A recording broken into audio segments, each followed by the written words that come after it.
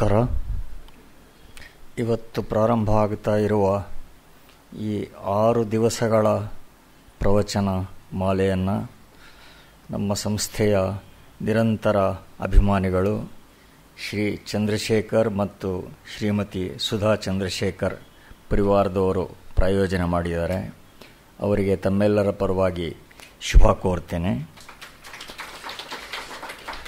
ಮತ್ತು ಈ ಅಪ್ಪಯ್ಯ ದೀಕ್ಷಿತರ ಆತ್ಮಾರ್ಪಣ ಸ್ತುತಿ ಬಗ್ಗೆ ಈ ಪ್ರವಚನ ಮಾಲೆ ಆಗಬೇಕು ಅಂತ ಆಗ್ರಹ ಮಾಡಿದವರು ಚಂದ್ರಶೇಖರ್ ಅವರೇ. ಅವರು ಮೂರು ವರ್ಷದಿಂದ ನಮ್ಮ ಬೆನ್ನು ಹತ್ತಿದ್ರು. ಇದಾಗಬೇಕು ಅಂತ. ಅದಕ್ಕೆ ಈ, ಇವತ್ತು ಅದಕ್ಕೆ ಸಮಯ ಕೂಡು ಬಂದಿದೆ. ಆರು ತಿಂಗಳ ಹಿಂದೆ ವಿದ್ವಾನ್ ಗಣೇಶ್ ಭಟ್ ಹೋಬಳಿ ಅವರು ಶ್ರೀ ಶಂಕರಾಚಾರ್ಯರ ಸೌಂದರ್ಯ ಲಹರಿ ಪ್ರವಚನ ಮಾಲೆಯನ್ನು ಮುಕ್ತಾಯಗೊಳಿಸಿದರು. ಈ ಸಲ ನಮ್ಮ ವಿದ್ವತ್ ಪರಂಪರೆಯಲ್ಲಿ ಅಪರ ಶಂಕರಾಚಾರ್ಯರು ಅಂತಲೇ ಕೀರ್ತಿತರಾಗಿರುವ ಅಪ್ಪಯ್ಯ ದೀಕ್ಷಿತರ ಆತ್ಮಾರ್ಪಣ ಸ್ತುತಿ ಕುರಿತು ವ್ಯಾಖ್ಯಾನ ನಡೆಯೋದಿದೆ ಇದು ಎರಡು ಮೂರು ಕಂತುಗಳಲ್ಲಿ ನಡೀಬೇಕಾಗತ್ತೆ ಈ ಮೊದಲ ಪರ್ಯಾಯ ಆರು ದಿವಸಗಳದಿರುತ್ತೆ ಹದಿನಾರನೇ ಶತಮಾನದಲ್ಲಿದ್ದ ಅಪ್ಪಯ್ಯ ದೀಕ್ಷಿತರು ಶತಾಧಿಕ ಗ್ರಂಥಕರ್ತರು. ವಿವಿಧ ಪ್ರಾಕಾರಗಳ ನೂರಕ್ಕೂ ಹೆಚ್ಚು ಕೃತಿಗಳನ್ನು ಅವರು ಬರೆದಿದ್ದಾರೆ. ಸಂಖ್ಯೆಗಿಂತ ಹೆಚ್ಚಿನ ವಿಶೇಷ ಅಂತ ಹೇಳಿದ್ರೆ ಆ ಕೃತಿಗಳ ವೈವಿಧ್ಯ. ಅಷ್ಟೊಂದು ಶಾಸ್ತ್ರಗಳಲ್ಲಿ, ದರ್ಶನಗಳಲ್ಲಿ ಒಂದೊಂದರಲ್ಲೂ ಮೂರ್ಧನ್ಯಭೂತ ಕೃತಿಗಳನ್ನು ಬರೆದವರು ಬೇರೆ ಇಲ್ಲ ಅಂತಲೇ ಹೇಳಬಹುದು. ಅವರು ಪರಮಶೈವರಾದ್ದರಿಂದ ಸಹಜವಾಗಿಯೇ ಶಿವಾರ್ಕಮಣಿ ದೀಪಿಕಾ, ಶಿವಾದ್ವೈತ ನಿರ್ಣಯ ಮೊದಲಾದ ಶ್ರೇಷ್ಠ ಗ್ರಂಥಗಳನ್ನು ಬರೆದರು. ಅದೇ ಅಪ್ಪಯ್ಯ ದೀಕ್ಷಿತರು ವಿಶಿಷ್ಟಾದ್ವೈತ ಪ್ರಸ್ಥಾನದ ನ್ಯಾಯಮಂಜರಿ ದ್ವೈತ ಪ್ರಸ್ಥಾನದ ನ್ಯಾಯಮುಕ್ತಾವಳಿ ಮೊದಲಾದ ಕೃತಿಗಳನ್ನು ಬರೆದಿರೋದು ವಿಶೇಷ. ಅದಲ್ಲದೆ ಮೀಮಾಂಸಾ ದರ್ಶನದ ವಿಧಿರಸಾಯನ ಬರೆದಿದ್ದಾರೆ. ನಕ್ಷತ್ರವಾದಾವಳಿ ಅಂತ ವ್ಯಾಕರಣ ಗ್ರಂಥ ಬರೆದಿದ್ದಾರೆ. ಅಲಂಕಾರ ಶಾಸ್ತ್ರಕ್ಕೆ ಸಂಬಂಧಿಸಿದ ಅವರ ಕೋಲಿಯಾನಂದವಂತೂ ಆ ಶಾಸ್ತ್ರದ ಅತ್ಯಂತ ಪ್ರಸಿದ್ಧ ಪರಿಚಯ ಗ್ರಂಥ ಆಗಿದೆ. ಅದಲ್ಲದೆ ರಾಮಾಯಣ ತಾತ್ಪರ್ಯ ಸಂಗ್ರಹ, ಭಾರತ ತಾತ್ಪರ್ಯ ಸಂಗ್ರಹ ಯಾದವಾಭ್ಯುದಯ ವ್ಯಾಖ್ಯೆ ಮೊದಲಾದ ಅನೇಕ ಕಾವ್ಯ ಕೃತಿಗಳನ್ನು ಬರೆದಿದ್ದಾರೆ. ವರದರಾಜಸ್ತವ ಮೊದಲಾದ ಅನೇಕ ಸ್ತೋತ್ರಗಳನ್ನು ಬರೆದಿದ್ದಾರೆ. ಮತ್ತು ಶೈವ ವೈಷ್ಣವ ಸಮನ್ವಯಕ್ಕೋಸ್ಕರ ಆಜೀವವೂ ಬಗೆಬಗೆಯಾಗಿ ಅವರು ಪರಿಶ್ರಮ ಮಾಡಿದರು.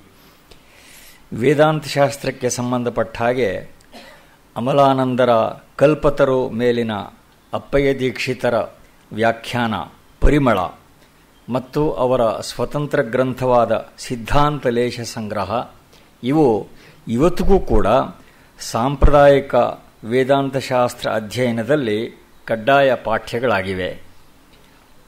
ಈ ಕಾರಣದಿಂದ ಅಪ್ಪಯ್ಯ ದೀಕ್ಷಿತರಿಗೆ ಅದ್ವೈತ ಸ್ಥಾಪನಾಚಾರ್ಯ ಅನ್ನುವ ಬಿರುದು ಕೂಡ ಇದೆ. ಬ್ರಹ್ಮಸೂತ್ರಗಳು, ಶಾಂಕರ ಭಾಷ್ಯ, ವಾಚಸ್ಪತಿ ಮಿಶ್ರರ ಭಾಮತಿ, ಅಮಲಾನಂದರ ಕಲ್ಪತರು ಮತ್ತು ಅಪ್ಪಯ್ಯ ದೀಕ್ಷಿತರ ಪರಿಮಳ, ಇವನ್ನು ವೇದಾಂತ ಪಂಚಗ್ರಂಥಿ ಅಂತ ನಮ್ಮ ಸಂಪ್ರದಾಯದಲ್ಲಿ ಕರೀತಾರೆ.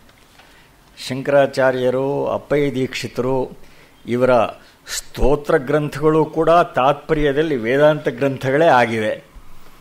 ಅಂಥ ಒಂದು ವಿಶಿಷ್ಟ ಸ್ತೋತ್ರ ಗ್ರಂಥ, ಆತ್ಮಾರ್ಪಣ ಸ್ತುತಿ. ಇದು ಅಪ್ಪಯ್ಯ ದೀಕ್ಷಿತರು ಬರೆದ ಅಂತಿಮ ಕೃತಿ ಅಂತ ಕೂಡ ಹೇಳಿಕೆ ಇದೆ. ಅವರು ಬರೆದ ಇಪ್ಪತ್ತಕ್ಕೂ ಹೆಚ್ಚು ಸ್ತೋತ್ರ ಕೃತಿಗಳಲ್ಲಿ ಈ ಆತ್ಮಾರ್ಪಣ ಸ್ತುತಿಗೆ ತುಂಬ ವಿಶಿಷ್ಟವಾದ ಸ್ಥಾನ ಇದೆ.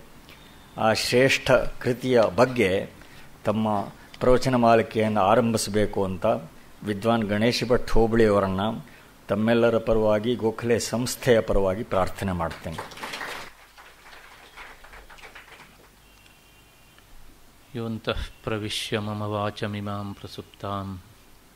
ಸಂಜೀವಯತ್ಯಖಿಲಶಕ್ತಿಧರಸ್ವಧಾಮ್ನ ಅನ್ಯಾಶ್ಚ ಹಸ್ತಚರಣಶ್ರವಣತ್ವಗಾದೀನ್ ಪ್ರಾಣಾನ್ನಮೋ ಭಗವತೆ ಪುರುಷಾಯ ತುಭ್ಯಂ. या वर्णपदवाक्यार्थगद्यपद्यस्वरूपिणी वाचि नर्तयतु क्षिप्रम। मेधान देवी सरस्वती। ध्यायेन्नित्यं महेशं रजतगिरिनिभं चारुचन्द्रावतंसं रत्नाकल्पोज्ज्वलाङ्गं परशुमृगवराभीतिहस्तं प्रसन्नं पद्मासीनं समन्तात् स्तुतमरगणैः व्याघ्रकृत्तिं वसानम्। ವಿಶ್ವಾದ್ಯಂ ವಿಶ್ವಬೀಜಂ ನಿಖಿಲಭಯಹರಂ ಪಂಚವಕ್ತಂ ತ್ರಿನೇತ್ರಂ ವಟವಿಟಪಿ ಸಮೀಪೆ ಭೂಮಿಭಾಗೇ ನಿಷಣ್ಣಂ सकलमुनिजनानां ज्ञानदातारमारात् त्रिभुवनगुरुमीशं दक्षिणामूर्तिदेवं जननमरणदुःखच्छेददक्षं नमामि ಗೋಖಲೆ ವಿಚಾರ ಸಂಸ್ಥೆಯ ಸಭಾಂಗಣದಲ್ಲಿ ಸೇರಿದಂತಹ ನನ್ನ ವೇದಾಂತ ಬಂಧುಗಳೇ, ಮತ್ತು ಈ ಕಾರ್ಯಕ್ರಮದ ಪ್ರಾಯೋಜಕರಾದಂಥ ಶ್ರೀಮತಿ ಸುಧಾ ಮತ್ತು ಚಂದ್ರಶೇಖರ ದಂಪತಿಗಳವರೇ, ಮತ್ತು ಸಂಸ್ಥೆಯ ಪದಾಧಿಕಾರಿಗಳೇ. ಹಿರಿಯರಾದಂಥ ರಾಮಸ್ವಾಮಿಗಳು ಹೇಳಿದರು, ಕಳೆದ ಐದು ತಿಂಗಳ ಹಿಂದೆ ಸೌಂದರ್ಯ ಲಹರಿಯ ಉಪನ್ಯಾಸವನ್ನು ಮಾಡಿ ಹೋದ ಮೇಲೆ ಮತ್ತೆ ಪುನಃ ಈಗ ಬರ್ತಾ ಇದ್ದೇನೆ ಅಂತ. ಈ ವಿಷಯದಲ್ಲಿ ನಾನು ಯಾರಿಗೂ ಪಕ್ಷಪಾತ ಮಾಡಲಿಲ್ಲ. ಸೌಂದರ್ಯ ಲಹರಿ ಉಪನ್ಯಾಸವನ್ನು ಮಾಡಿ ಹೋದ ಮೇಲೆ ಮತ್ತೆ ಪುನಃ ನಾನು ಉಪನ್ಯಾಸಕ್ಕೆ ಅಂತ ಪ್ರಾರಂಭಿಸಿದ್ದು ಇವತ್ತೇ. ಹಾಗಾಗಿ ನಾನು ಆ ಮಾತನ್ನು ಹೇಳಿದೆ. ಕಾರಣ, ವೈಯಕ್ತಿಕವಾದಂತಹ ಅನಾನುಕೂಲತೆಗಳು, ಇನ್ನುಳಿದಂತಹ ಕಾರಣಗಳು. ಅವು ಸಹ ಒಂದು ದೃಷ್ಟಿಯಲ್ಲಿ ನನಗೆ ಭಗವತ್ ಚಿಂತನೆಗೆ ಹಚ್ಚಿಸಿದಂತಹ ಸಮಯವೇ. ಆ ಹಿನ್ನೆಲೆಯಲ್ಲಿ ನಾನು ವೈಯಕ್ತಿಕವಾಗಿಯೂ ಸಹ ನನ್ನ ಅಧ್ಯಾತ್ಮ ಚಿಂತನೆಗೆ ಮತ್ತೆ ಪುನಃ ಬರೋದಕ್ಕೆ ಮಧ್ಯೆಯಲ್ಲಿ ಮೂರ್ನಾಲ್ಕು ತಿಂಗಳುಗಳ ಕಾಲ ಹಿಡಿದಿದೆ. ಇಷ್ಟು ಆದ ಮೇಲೆ ಇಂದಿನಿಂದ ಆರು ದಿನಗಳ ಕಾಲ ನಾವು ಅಪ್ಪಯ್ಯ ದೀಕ್ಷಿತರ ಆತ್ಮಾರ್ಪಣ ಸ್ತುತಿ, ಇದು ಆ ಕೃತಿ. ವಾಸ್ತವಿಕವಾಗಿ ಕೃತಿ ಇಷ್ಟು ದಪ್ಪ ಇಲ್ಲ, ಅಥವಾ ಇದರ ಹತ್ತರಷ್ಟು ದಪ್ಪ ಆಗಬಹುದು. ಯಾಕೆ ಕೇಳಿದರೆ ಆ ಕೃತಿಯಲ್ಲಿ ಅದರ ಗಾತ್ರ ಕೇವಲ ಐವತ್ತು ಶ್ಲೋಕಗಳನ್ನು ಮಾತ್ರ ಒಳಗೊಂಡಿದ್ದು. ಆ ಐವತ್ತು ಶ್ಲೋಕಗಳನ್ನು ವಿವರಿಸ್ತಾ ಹೋದರೆ ಎಷ್ಟು ದಪ್ಪದ ಪುಸ್ತಕ ಆದರೂ ಆಗಬಹುದು. ವಿವರಿಸಿದ ಶಬ್ದಗಳನ್ನು ಕಾಗದದಲ್ಲಿ ಇಳಿಸ್ತಾ ಹೋದರೆ. ಹಾಗಾಗಿ ಒಂದು ಸಾಮಾನ್ಯವಾಗಿ ಇಂಥ ಒಂದು ಕೃತಿ ಆಗಬಹುದು ಎನ್ನುವಂತಹ ಹಿನ್ನೆಲೆಯಲ್ಲಿ ಈ ಮಾತನ್ನು ಹೇಳಿದೆ. ಈಗ ತಾನೇ ಹಿರಿಯರಾದಂಥ ರಾಮಸ್ವಾಮಿಗಳು ಅಪ್ಪಯ್ಯ ದೀಕ್ಷಿತರ ಕೃತಿಗಳ ಬಗ್ಗೆ ಹೇಳಿದರು. ಒಂದು ದೃಷ್ಟಿಯಲ್ಲಿ ನನಗೆ ಸ್ವಲ್ಪ ಹಗುರಾಗಿದೆ. ಅವರು ಹೇಳಿದ ಹಾಗೆ ಅಪ್ಪಯ್ಯ ದೀಕ್ಷಿತರು ನೂರು ಅಂತಲೂ ಒಂದು ಅಭಿಪ್ರಾಯ ಉಂಟು. ನೂರ ನಾಲ್ಕು ಕೃತಿಗಳನ್ನು ರಚಿಸಿದವರು ಎನ್ನುವಂಥ ಒಂದು ಅಭಿಪ್ರಾಯವೂ ಉಂಟು. ಏನಿದ್ರೂ ಒಬ್ಬ ಗ್ರಂಥಕರ್ತನ ಸಾಮರ್ಥ್ಯ ತೀರ್ಮಾನ ಆಗುವುದು ಅವನು ಬರೆದಂತಹ ಗ್ರಂಥಗಳ ಸಂಖ್ಯೆಯಿಂದ ಅಲ್ಲ, ಆ ಗ್ರಂಥದಲ್ಲಿರುವಂಥ ಸತ್ವದಿಂದಾಗಿ. ಈ ಹಿನ್ನೆಲೆಯಲ್ಲಿ ವಿವಿಧ ಪ್ರಕಾರಗಳಲ್ಲಿ ಗ್ರಂಥಗಳನ್ನು ರಚಿಸಿದರೂ ಸಹ ಅಪ್ಪಯ್ಯ ದೀಕ್ಷಿತರು ರಚನೆ ಆದ ಮೇಲೆ ಆ ಶಾಸ್ತ್ರದಲ್ಲಿ ಅಥವಾ ಆ ಕ್ಷೇತ್ರದಲ್ಲಿ ಮತ್ತೆ ಇನ್ನು ಯಾರು ಏನು ಹೇಳಿದರೂ ಸಹ ಅದೆಲ್ಲ ಚರವಿತ ಚರವಣೆ ಆಗಿಬಿಡ್ತದೆ. ಹೀಗೆ ಅಂತಿಮವಾದಂತಹ ಒಂದು ಅಭಿಪ್ರಾಯವನ್ನು ಕೊಡುವಂತಹ ಎತ್ತರದ ಮಟ್ಟದ ದಾರ್ಶನಿಕ ಶ್ರೇಷ್ಠರು. ಇಂಥ ಮಹಾನುಭಾವರು ನಮ್ಮ ದೇಶದಲ್ಲಿ, ಅದರೊಳಗೂ ವಿಶೇಷವಾಗಿ ದಕ್ಷಿಣ ಭಾರತದಲ್ಲಿ ಇದ್ರಲ್ಲ ಎನ್ನುವಂಥದ್ದು ಬಹಳ ಸಂತೋಷ ಪಡುವಂತಹ ವಿಚಾರ. ಅದಕ್ಕಿಂತ ಹೆಚ್ಚಾಗಿ ಈ ಸಂದರ್ಭದಲ್ಲಿ ನಾನು ಹೇಳಲೇಬೇಕು. ಇವತ್ತು ನಾವು ಯಾರ ಹೆಸರಿನ ಈ ಸಭಾಂಗಣದಲ್ಲಿ ಕುಳಿತಿದ್ದೇವೋ ಪೂಜ್ಯರಾದಂತಹ ಡಿ ವಿ ಜಿಯವರು ಅದೇ ವಂಶದ ಪ್ರಾಯಶಃ ಹದಿನೈದು, ಹದಿನಾರನೇ ತಲೆಮಾನಿನವರು ನೀವು ಕಾರ್ಯಂ ನಿಧಾನಾಧಿ ಗುಣಾನಧೀತೆ ಎನ್ನುವಂಥ ಒಂದು ಮಾತುಂಟು. ಕಾರ್ಯವನ್ನು ನೋಡಿ ಕಾರಣವನ್ನು ಊಹಿಸಿಕೊಳ್ಳಬಹುದು ಅಂತ. ಡಿ ವಿ ಜಿಯವರ ಸರ್ವತೋಮುಖವಾದಂಥ ಪಾಂಡಿತ್ಯ, ವಿದ್ವತ್ತು ಸಾಕ್ಷಾತ್ ಕಂಡವರಿದ್ದೀರಿ. ಆ ಪರಂಪರೆ ಪರಂಪರೆಯಲ್ಲಿ ಹದಿನೈದು ಅಥವಾ ಹದಿನಾರನೇ ತಲೆಮಾರು ಅಥವಾ ಹದಿಮೂರು, ನಿಖರವಾಗಿ ಗೊತ್ತಿಲ್ಲ. ಇಷ್ಟು ತುದಿಗೆ ಹರಿದ ಬಂದಾಗಲೂ ಆ ಪಾಂಡಿತ್ಯ ಇಷ್ಟು ಪ್ರಖರವಾಗಿ, ಇಷ್ಟು ವೈವಿಧ್ಯಮಯವಾಗಿ, ಹೀಗೆ ಸರ್ವತೋಮುಖವಾಗಿ ಇದ್ದಂತಹ ಪಾಂಡಿತ್ಯ ಅಂತ ಆದರೆ ಇದರ ಮೂಲ ಹೇಗೆ ಇರಬಹುದು?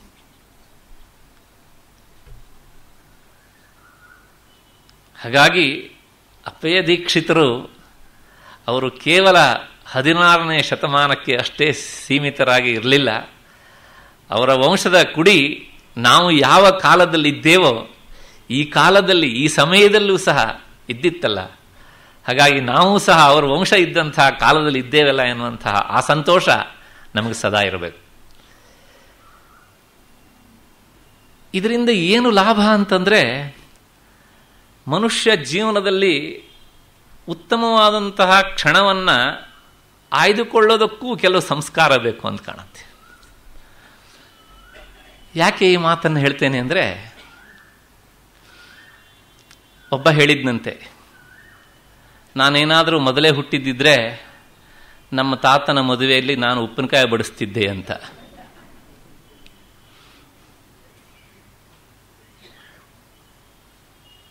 ನೀನು ತಾತನ ಮದುವೆಯಲ್ಲಿ ಉಪ್ಪಿನಕಾಯಿ ಬಡಿಸ್ತೀಯೋ ಬಿಡ್ತೀಯೋ ಅದು ಸಾಧ್ಯ ಇಲ್ಲದ ಕೆಲಸ. ಆ ತಾತನನ್ನು ಕಂಡಾಗ ಇಂಥ ತಾತ ನನಗೆ ಸಿಕ್ಕಿದ್ನಲ್ಲ ಅಂತ ಆ ಉಪ್ಪಿನಕಾಯಿ ಬಡಿಸುವ ಸೇವೆಗಿಂತ ಬೇರೆ ಸೇವೆಯನ್ನು ಮಾಡು.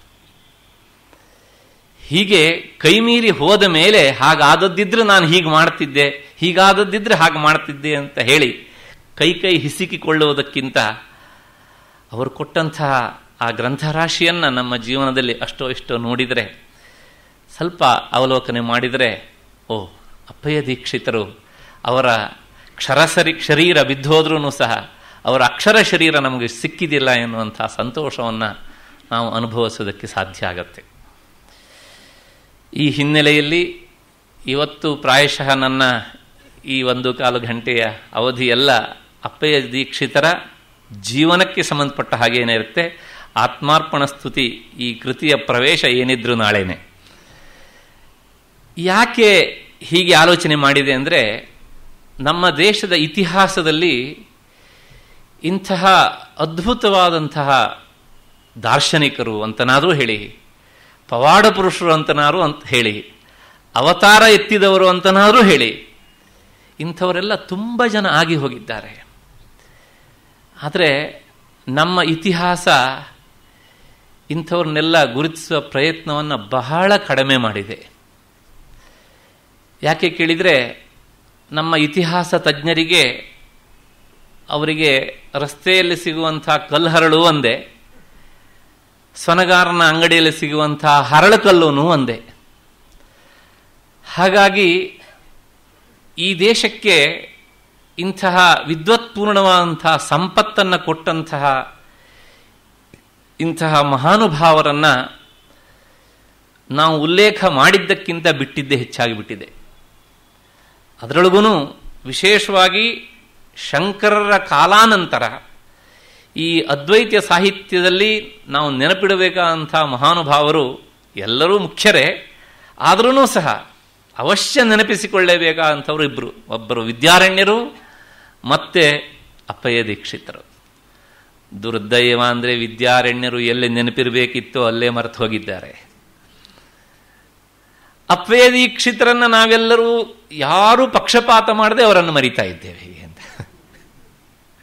ಇದು ನಮ್ಮ ದುರ್ದೈವ.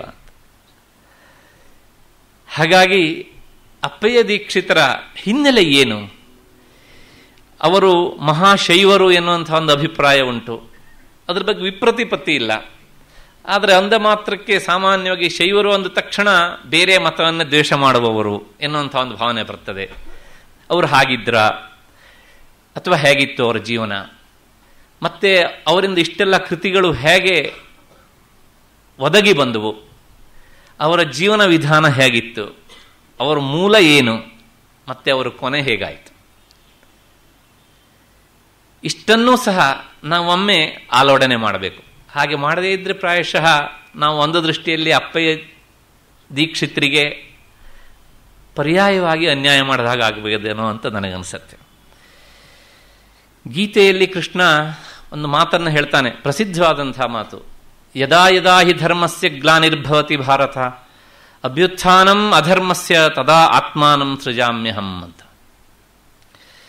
ಇದು ಸಾರ್ವಕಾಲಿಕ ಸತ್ಯವಾದಂಥ ಮಾತು, ಗೀತಾಚಾರ್ಯನ ಮಾತು ಇದು. ಇದು ಕೇವಲ ವೈಷ್ಣವ ಅವತಾರಕ್ಕೆ ಮಾತ್ರ ಸಂಬಂಧಪಟ್ಟ ಮಾತಲ್ಲ. ಅಲ್ಲಿ ಕೃಷ್ಣ ನಾನು ವಿಷ್ಣು ಮಾತ್ರ ಅವತರಿಸಿ ಬರ್ತೇನೆ ಅಂತ ಹೇಳ್ತಾ ಇಲ್ಲ. ಅಹಂ ಅಂತ ಶಬ್ದ ಹೇಳ್ತಾನೆ. ಆ ಅಸ್ಮತ್ ಶಬ್ದದಿಂದ ವಾಚ್ಯವಾದಂತಹದ್ದು ಆತ್ಮವಸ್ತು. ಹಾಗಾಗಿ ಈ ಪ್ರಪಂಚದ ಏರಿಳಿತವನ್ನು ಸರಿಪಡಿಸೋದಕ್ಕೆ ನಾನು ಮೈಗೂಡಿ ಬರ್ತೇನೆ ಅನ್ನುವಂಥದ್ದು. ಆ ಹಿನ್ನೆಲೆಯಲ್ಲಿ ಏಳನೇ ಶತಮಾನದ ಆಚಾರ್ಯ ಶಂಕರರು ಮತ್ತೆ ವಿದ್ಯಾರಣ್ಯರು ಮತ್ತೆ ಪುನಃ ಅಪ್ಪಯ್ಯ ದೀಕ್ಷಿತರು ಇವರೆಲ್ಲರೂ ಸಹ ಈ ಶೈವಾವತಾರದ ಒಂದು ಪರಿಕಲ್ಪನೆಯಲ್ಲಿ ಬರುವಂಥವರು. ಸುಮಾರು ನರ್ಮದಾ ನದಿಯ ತೀರ, ಅಂದರೆ ಗೊತ್ತು ನಿಮಗೆ ಎಲ್ಲಿದೆ, ಏನು ಎತ್ತ ಅಂತ. ಆ ನದಿಯ ತೀರದಿಂದ ಒಂದಿಷ್ಟು ಶ್ರೋತ್ರಿಯರು ಮತ್ತು ಪ್ರತಿಭೆ ಪಾಂಡಿತ್ಯವೇ ಸಂಪತ್ತಾಗಿ ಉಳ್ಳಂತಹ ಈ ಶ್ರೋತ್ರಿಯ ಒಂದು ಕುಟುಂಬ ಇಂದಿನ ತಮಿಳುನಾಡು ಆದಂತಹ ಉತ್ತರ ಆರ್ಕಾಟು ಜಿಲ್ಲೆ ಅಡಯಪಾಳಂ ಎನ್ನುವಂತಹ ಈ ಜಿಲ್ಲೆಗೆ ಬಂದರು. ಅದರೊಳಗೆ ಅಲ್ಲಲ್ಲಿ ಅಲ್ಲಲ್ಲಿ ಅವರು ತಂಗಿದರು. ಈ ಅಪ್ಪಯ್ಯ ದೀಕ್ಷಿತರ ಅಜ್ಜ, ಅವರ ಹೆಸರು ಆಚಾರ್ಯ ದೀಕ್ಷಿತರು ಅಂತಾನೆ. ಮಹಾ ಪಂಡಿತೋತ್ತಮರು. ಅವರು ಪಂಡಿತರಷ್ಟೇ ಅಲ್ಲ, ಸದಾ ಆ ಸಮಾಧಿ ಸ್ಥಿತಿಗೆ ಏರಿದಂಥ ಮಹಾನುಭಾವರವರು ಗೃಹಸ್ಥರು. ಅವರು ಆ ವಲಸೆಯಲ್ಲಿ ಬಂದಂತಹ ಒಬ್ಬರು ಅವರೂ ಸಹ. ಅವರು ಅಡೆಯಪಾಳಂನಲ್ಲೇ ಅವರು ತಂಗಿದರು. ಎಷ್ಟರ ಮಟ್ಟಿಗೆ ಹೇಳ್ತಾರೆ ಅಂತಂದರೆ ಅವರ ಬಗ್ಗೆ ಚಿತ್ಸುಖಾಂಬೋಧಿಯಲ್ಲೇ ಮಗ್ನರು ಅಂತ. ಆ ಸದಾ ಬ್ರಹ್ಮೀಭಾವದಲ್ಲಿ ಇರುವಂಥವರು ಅಂತ. ಅಷ್ಟು ಎತ್ತರದ ಸಾಧನೆ ಮಾಡಿದಂತಹ ಮಹಾನುಭಾವರು.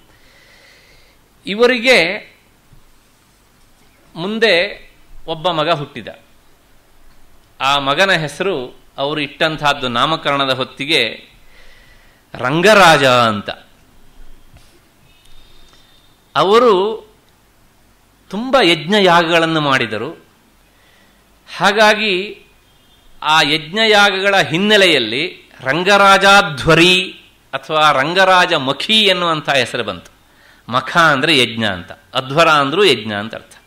ಬಹಳಷ್ಟು ಕರ್ಮಾನುಷ್ಠಾನವನ್ನು ಮಾಡಿದ್ರಿಂದ ರಂಗರಾಜಾಧ್ವರಿ ಮತ್ತೆ ರಂಗರಾಜ ಮಖಿ ಮತ್ತೆ ದೀಕ್ಷಿತರು ಎನ್ನುವಂಥದ್ದು ಅವರ ಒಂದು ರೀತಿಯ ಸರ್ನೇಮ್ ಇದ್ದ ಹಾಗೆ. ಹಾಗಾಗಿ ರಂಗರಾಜ ದೀಕ್ಷಿತರು. ಈ ಮೂರು ಹೆಸರಿನ ಹಿನ್ನೆಲೆಯಲ್ಲಿ ಅವರು ಪ್ರಸಿದ್ಧರಾದರು. ಅದಾದ ಮೇಲೆ ಅವರ ಸುಮಾರು ಮಧ್ಯ ವಯಸ್ಸು ಮುಗಿತಾ ಇದ್ದಂತಹ ಸಂದರ್ಭದಲ್ಲೂ ಅವರಿಗೆ ಸಂತತಿ ಆಗದೇ ಇದ್ದಾಗ ಅವರು ಶಿವನ ಆರಾಧನೆಯನ್ನ ಮಾಡಿ ಮತ್ತೆ ಪುನಃ ಸಂತತಿಯನ್ನು ಪಡೆದರು ಅವರು. ಆ ಶಿವನ ಆರಾಧನೆಯಿಂದ ಹುಟ್ಟಿದ ಮಗುವೇ ಅಪ್ಪಯ್ಯ ದೀಕ್ಷಿತರು. ಸಾಮಾನ್ಯವಾಗಿ ಇಲ್ಲೊಂದು ಸಂಶಯ ಬರುತ್ತೆ. ನಾವು ಯಾವ ದೇವರನ್ನು ಆರಾಧಿಸಿ ಸಂತತಿಯನ್ನು ಪಡಿತೇವೋ ಆ ಸಂತತಿಗೆ ಆ ದೇವರ ಜ್ಞಾಪಕವಾಗಿ ಅದೇ ಹೆಸರನ್ನು ನಾವು ಇಡ್ತೇವೆ ಹಿಂದೆ ನಮ್ಮ ಎಲ್ಲ ಇತಿಹಾಸವನ್ನು ನೀವು ನೋಡಿದರೆ ಅದು ಸ್ಪಷ್ಟ ಆಗತ್ತೆ ಆದರೆ ಇಲ್ಲಿ ಯಾಕೆ ಹೀಗಾಯಿತು? ಶಿವನಿಗೇನಾದರೂ ಮತ್ತು ಅಪ್ಪಯ್ಯ ಅಂತ ಹೆಸರು ಇತ್ತೋ ಹೇಗೆ? ಅಲ್ಲ, ಅವನು ಜಗತ್ಪಿತನಾದ್ಮೇಲೆ ಆ ಹೆಸರು ಇದ್ದಿರಬಹುದು. ಏನು ಇಲ್ಲದೆ ಇದ್ದದ್ದೇನು ಆಶ್ಚರ್ಯ ಇಲ್ಲ. ಈಶೋ ಹಿ ಜಗತರ್ಪಿತ ಅಂತ. ಆದರೆ ನಾಮಕರಣ ಮಾಡುವಾಗ ತಂದೆಯವರಿಗೆ ಇಟ್ಟಂಥ ಹೆಸರು ಆ ಶಿವನ ಹೆಸರಿನ ಹಿನ್ನೆಲೆಯಲ್ಲಿಯೇ ಇಟ್ಟಂತಹ ಹೆಸರಾಗಿತ್ತು. ಶಿವನ ಹೆಸರಿನಿಂದ, ಅವರ ಅನುಗ್ರಹದಿಂದ ಹುಟ್ಟಿದ್ದ ಮಗುವಾದ್ರಿಂದ, ಶಿವನ ಮಕ್ಕಳ ಹೆಸರನ್ನ ಸೇರಿಸಿ ಇವರಿಗೆ ನಾಮಕರಣ ಮಾಡಿದರು ರಂಗರಾಜಾಧ್ವರಿಗಳು.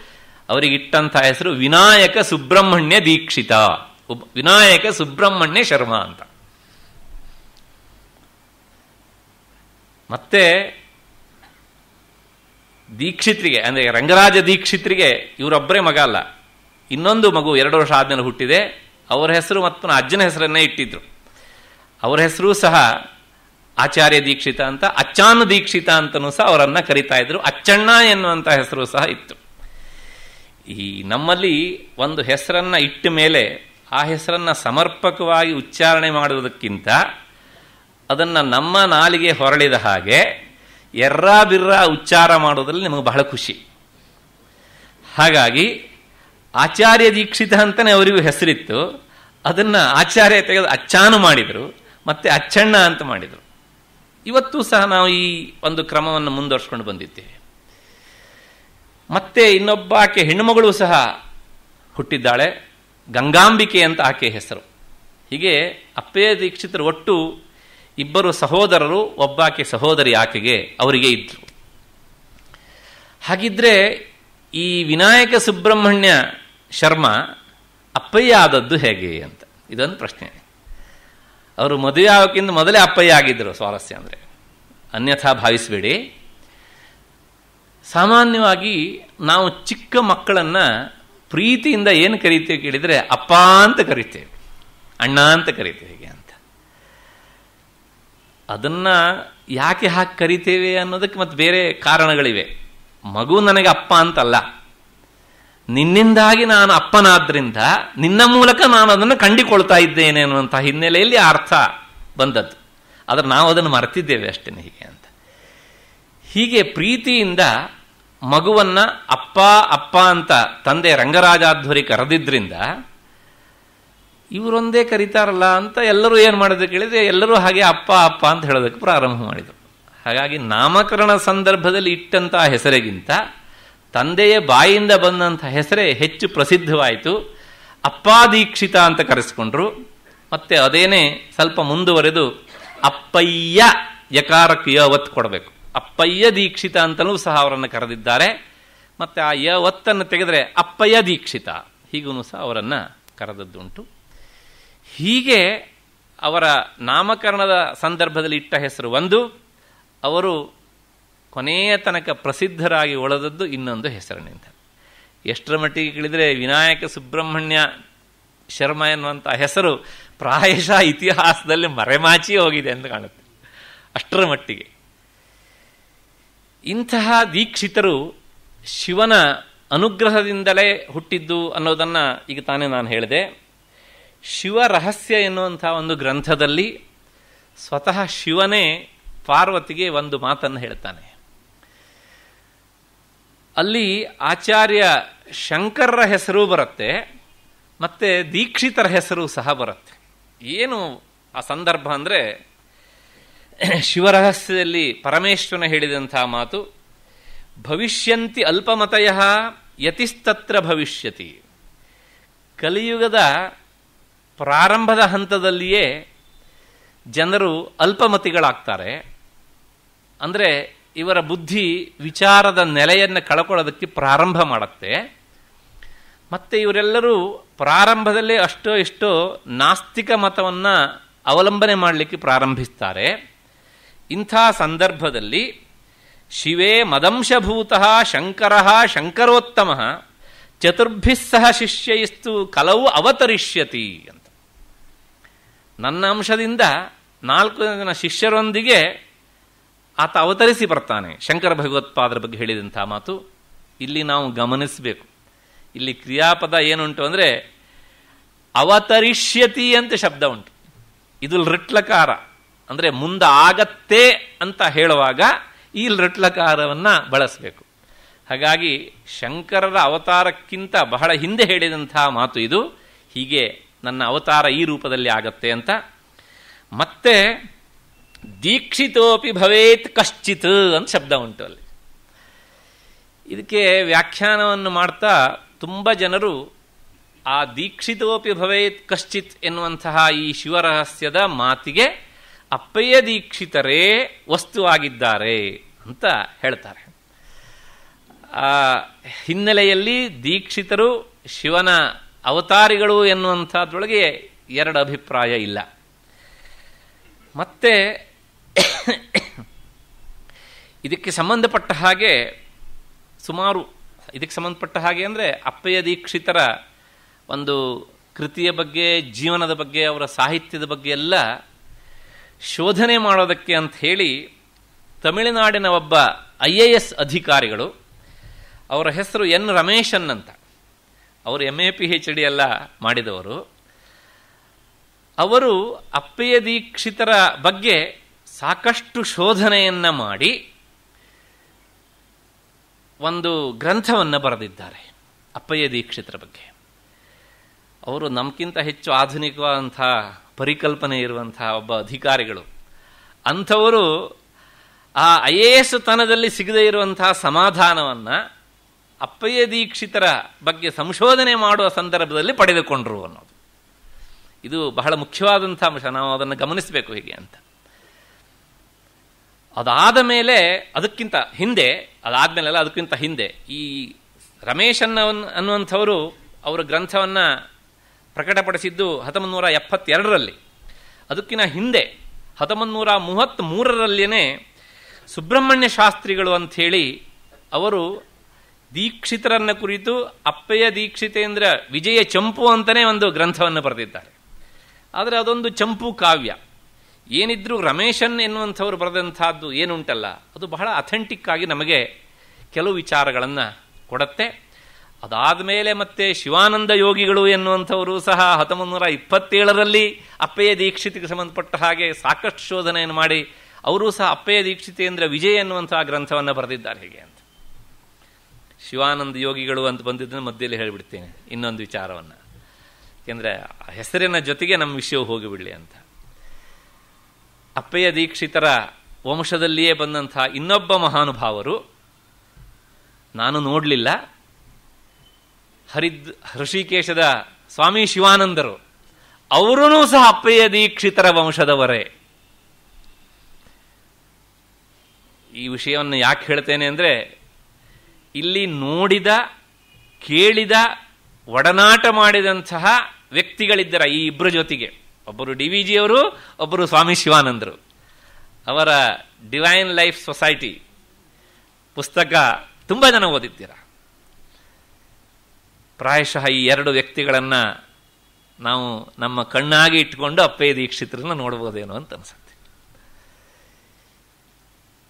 ಯಾಕೆ ಈ ಪರಂಪರೆಯಲ್ಲಿ ಇಂಥ ಮಹಾನುಭಾವರು ಜನ್ಮ ಎತ್ತಿದರು? ನಾನೀಗ ಮಹಾನುಭಾವರು ಅನ್ನುವಂಥ ಶಬ್ದದಿಂದ ಅಪ್ಪಯ್ಯ ದೀಕ್ಷಿತರನ್ನ ಕ್ಷಣಕಾಲ ಮರಿತಾ ಇದ್ದೇನೆ. ಸ್ವಾಮಿ ಶಿವಾನಂದರನ್ನ ಮತ್ತೆ ಇವರನ್ನ ಇಟ್ಕೊಂಡು ಈ ಶಬ್ದ ಹೇಳ್ತಾ ಇದ್ದೇನೆ. ಇದಕ್ಕೇನಾದರೂ ಕಾರಣ ಉಂಟಾ ಅಂದರೆ, ಅದಕ್ಕೆ ಕಾರಣ ಉಂಟು ಅಂತ ಆ ರಮೇಶನ್ ಅನ್ನುವಂಥವರು ಪುಸ್ತಕವನ್ನು ಬರಿತಾ ಒಂದು ಮಾತನ್ನು ಹೇಳ್ತಾರೆ. ದೀಕ್ಷಿತರ ತಂದೆ ರಂಗರಾಜಾಧ್ವರಿಗಳು, ಅವರು ತಮ್ಮ ದೇಹವನ್ನು ಬಿಡುವಾಗ, ಅವರಿಗೆ ತಮ್ಮ ಅವಸಾನದ ಕಾಲ ಗೊತ್ತಿತ್ತು. ಅವರಿಗೆ ಅಷ್ಟೇ ಅಲ್ಲ, ಅವರ ತಂದೆಯವರಿಗೂ, ಅಂದರೆ ಆಚಾರ್ಯ ದೀಕ್ಷಿತರಿಗೂ, ಮತ್ತು ರಂಗರಾಜಾಧ್ವರಿಗಳಿಗೂ, ಹೆಚ್ಚೇಕೆ ಅಪ್ಪಯ್ಯ ದೀಕ್ಷಿತರಿಗೂ. ಈ ಮೂರೂ ಜನರೂ ಸಹ ತಮ್ಮ ಕೊನೆಯ ಕಾಲವನ್ನು ಅವರಾಗಿ ತಿಳಿದು ಅದನ್ನು ಬಯಸಿ ಸ್ವೀಕಾರ ಮಾಡಿದಂಥ ಮಹಾನುಭಾವರು. ಹೀಗೆ ಇಂಥ ಮಹಾನುಭಾವರು ರಂಗರಾಜಾಧ್ವರಿಗಳು ತಮ್ಮ ಕೊನೆಯ ಸಂದರ್ಭದಲ್ಲಿ ತಮ್ಮ ಮಕ್ಕಳನ್ನು ಹತ್ತಿರ ಕರೆದು ಕೆಲವು ಉಪದೇಶದ ಮಾತನ್ನು ಹೇಳ್ತಾರೆ. ತುಂಬ ಮನನೀಯವಾದಂಥ ಮಾತುಗಳವು. ಏನು ಅಂದರೆ, ತಲೆತಲಾಂತರದಿಂದ ಪಾಂಡಿತ್ಯ ಎನ್ನುವಂಥದ್ದು ಅವರು ಸ್ವತ್ತಾಗಿ ಬಂದುಬಿಟ್ಟಿದೆ. ಇಂತಹ ಪಾಂಡಿತ್ಯ ಮೈಗೂಡಿ ಬಂದಾಗ ಅವರಿಗೆ ಎಷ್ಟು ಅಹಂಕಾರ ಇರಬೇಕಿತ್ತು.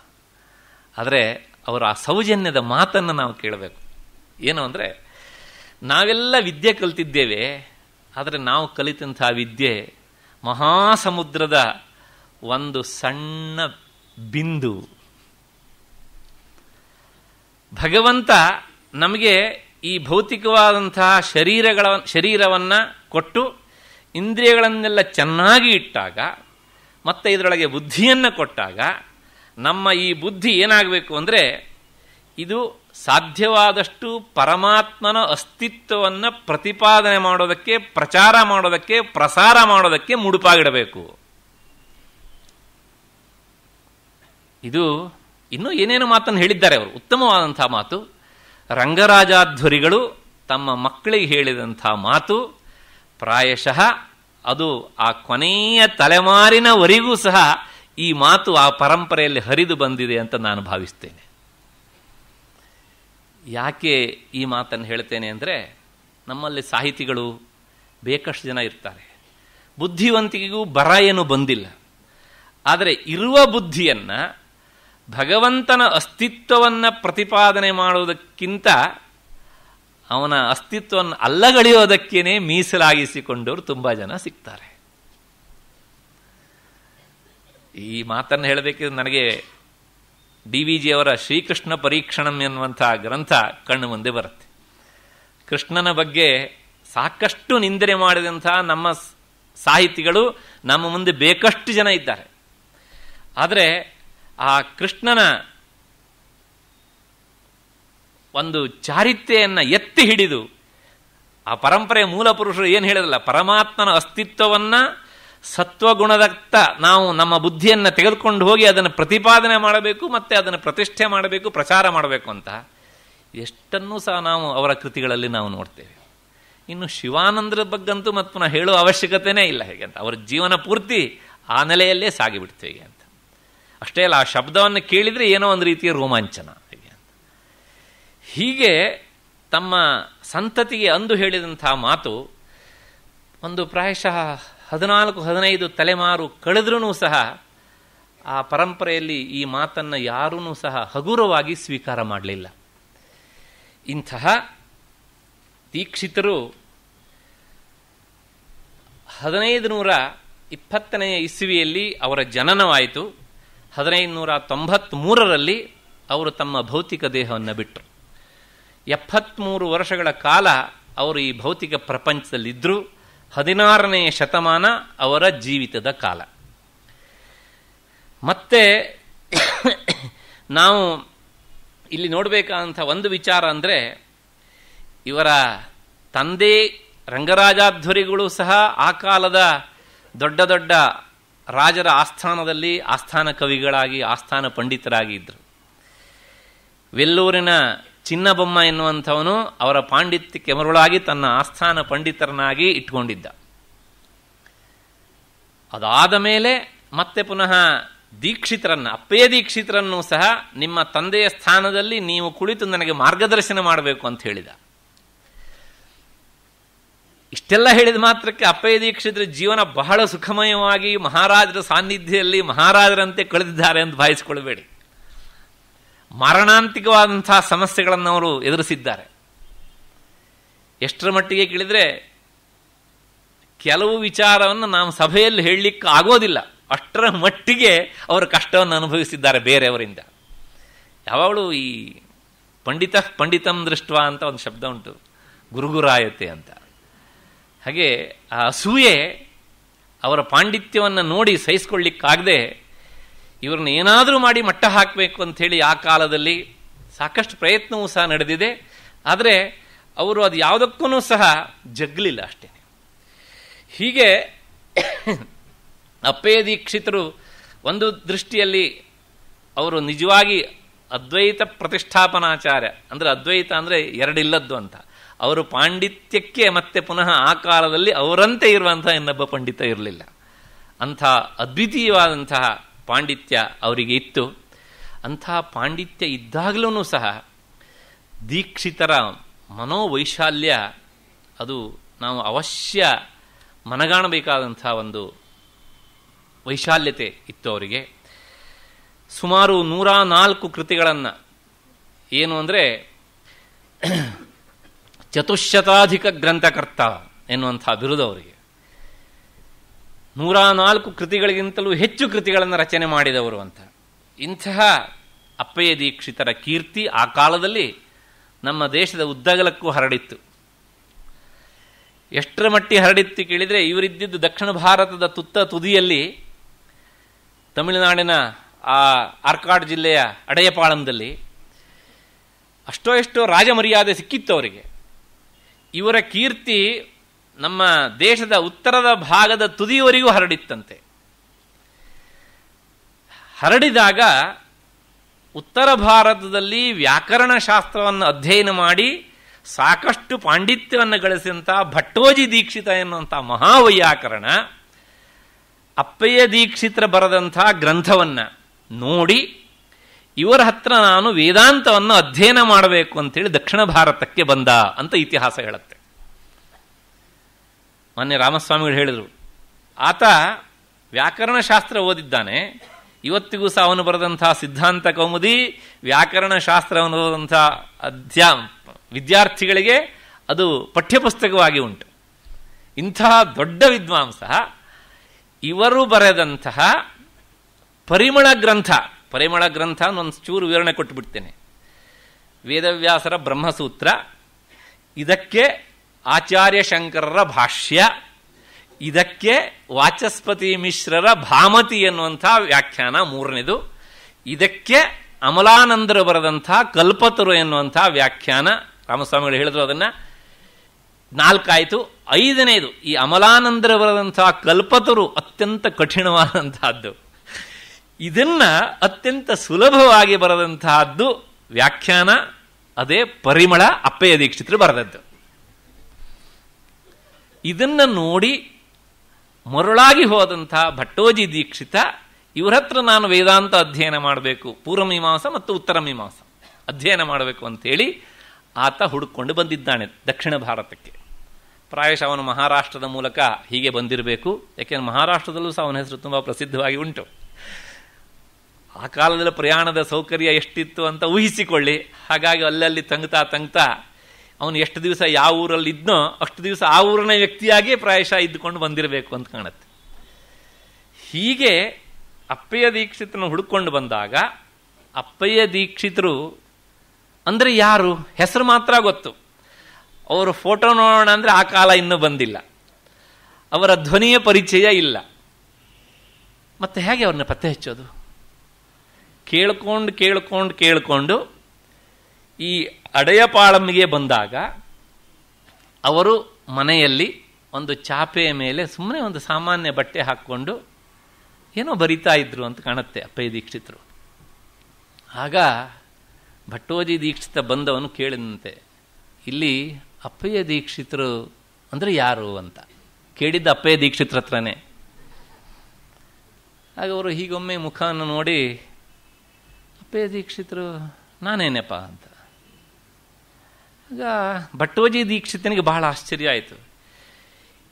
ಉತ್ತರ ಭಾರತದ ತುದಿಯವರಿಗೆ ಯಾವ ವ್ಯಕ್ತಿಯ ಹೆಸರು ಹರಿದು ಬಂತೋ ಆ ವ್ಯಕ್ತಿ ಇಷ್ಟು ಸಿಂಪಲ್ ಆಗಿರೋದಕ್ಕೆ ಸಾಧ್ಯನಾ.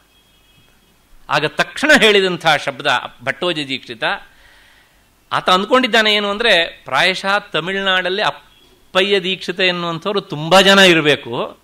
ಆ ತುಂಬ ಜನರಲ್ಲಿ ಇವರು ಯಾರೋ ಒಬ್ಬ ಎಕ್ಕಶ್ಚಿತ್ ಅಪ್ಪಯ್ಯ ದೀಕ್ಷಿತ ಆಗಿರಬೇಕು. ಅಂತ ಅಂದ್ಕೊಂಡು ಸ್ಪಷ್ಟವಾಗಿ ಹೇಳ್ತಾನೆ ಆತ. ಏನು ಅಂದರೆ, ನನಗೆ ಬೇರೆ ಯಾವ್ಯಾವ ಅಪ್ಪಯ್ಯ ದೀಕ್ಷಿತರು ಬೇಡ. ಆ ಪರಿಮಳ ಎನ್ನುವಂತಹ ಗ್ರಂಥ ಬರೆದಿದ್ದಾರಲ್ಲ, ಆ ಅಪ್ಪಯ್ಯ ದೀಕ್ಷಿತರು ಬೇಕು ಅಂತ. ಏನು ಸಂದರ್ಭ ನೋಡಿ. ಆಗ ನಾನೇ ಆ ಅಪ್ಪಯ್ಯ ದೀಕ್ಷಿತ ಅಂತ ಹೇಳ್ಕೊಳ್ಳಿಲ್ಲ ಅವ್ರ ಸ್ವಾರಸ್ಯ ಅಂದರೆ. ಅವರು ಹೇಳಿದಂಥ ಮಾತು ಏನಂದ್ರೆ, ಅಕ್ಷರಾಣಿ ಪರೀಕ್ಷಂತಾಂ ಅಂಬರಾಡಂಬರೇಣ ಕಿಂ.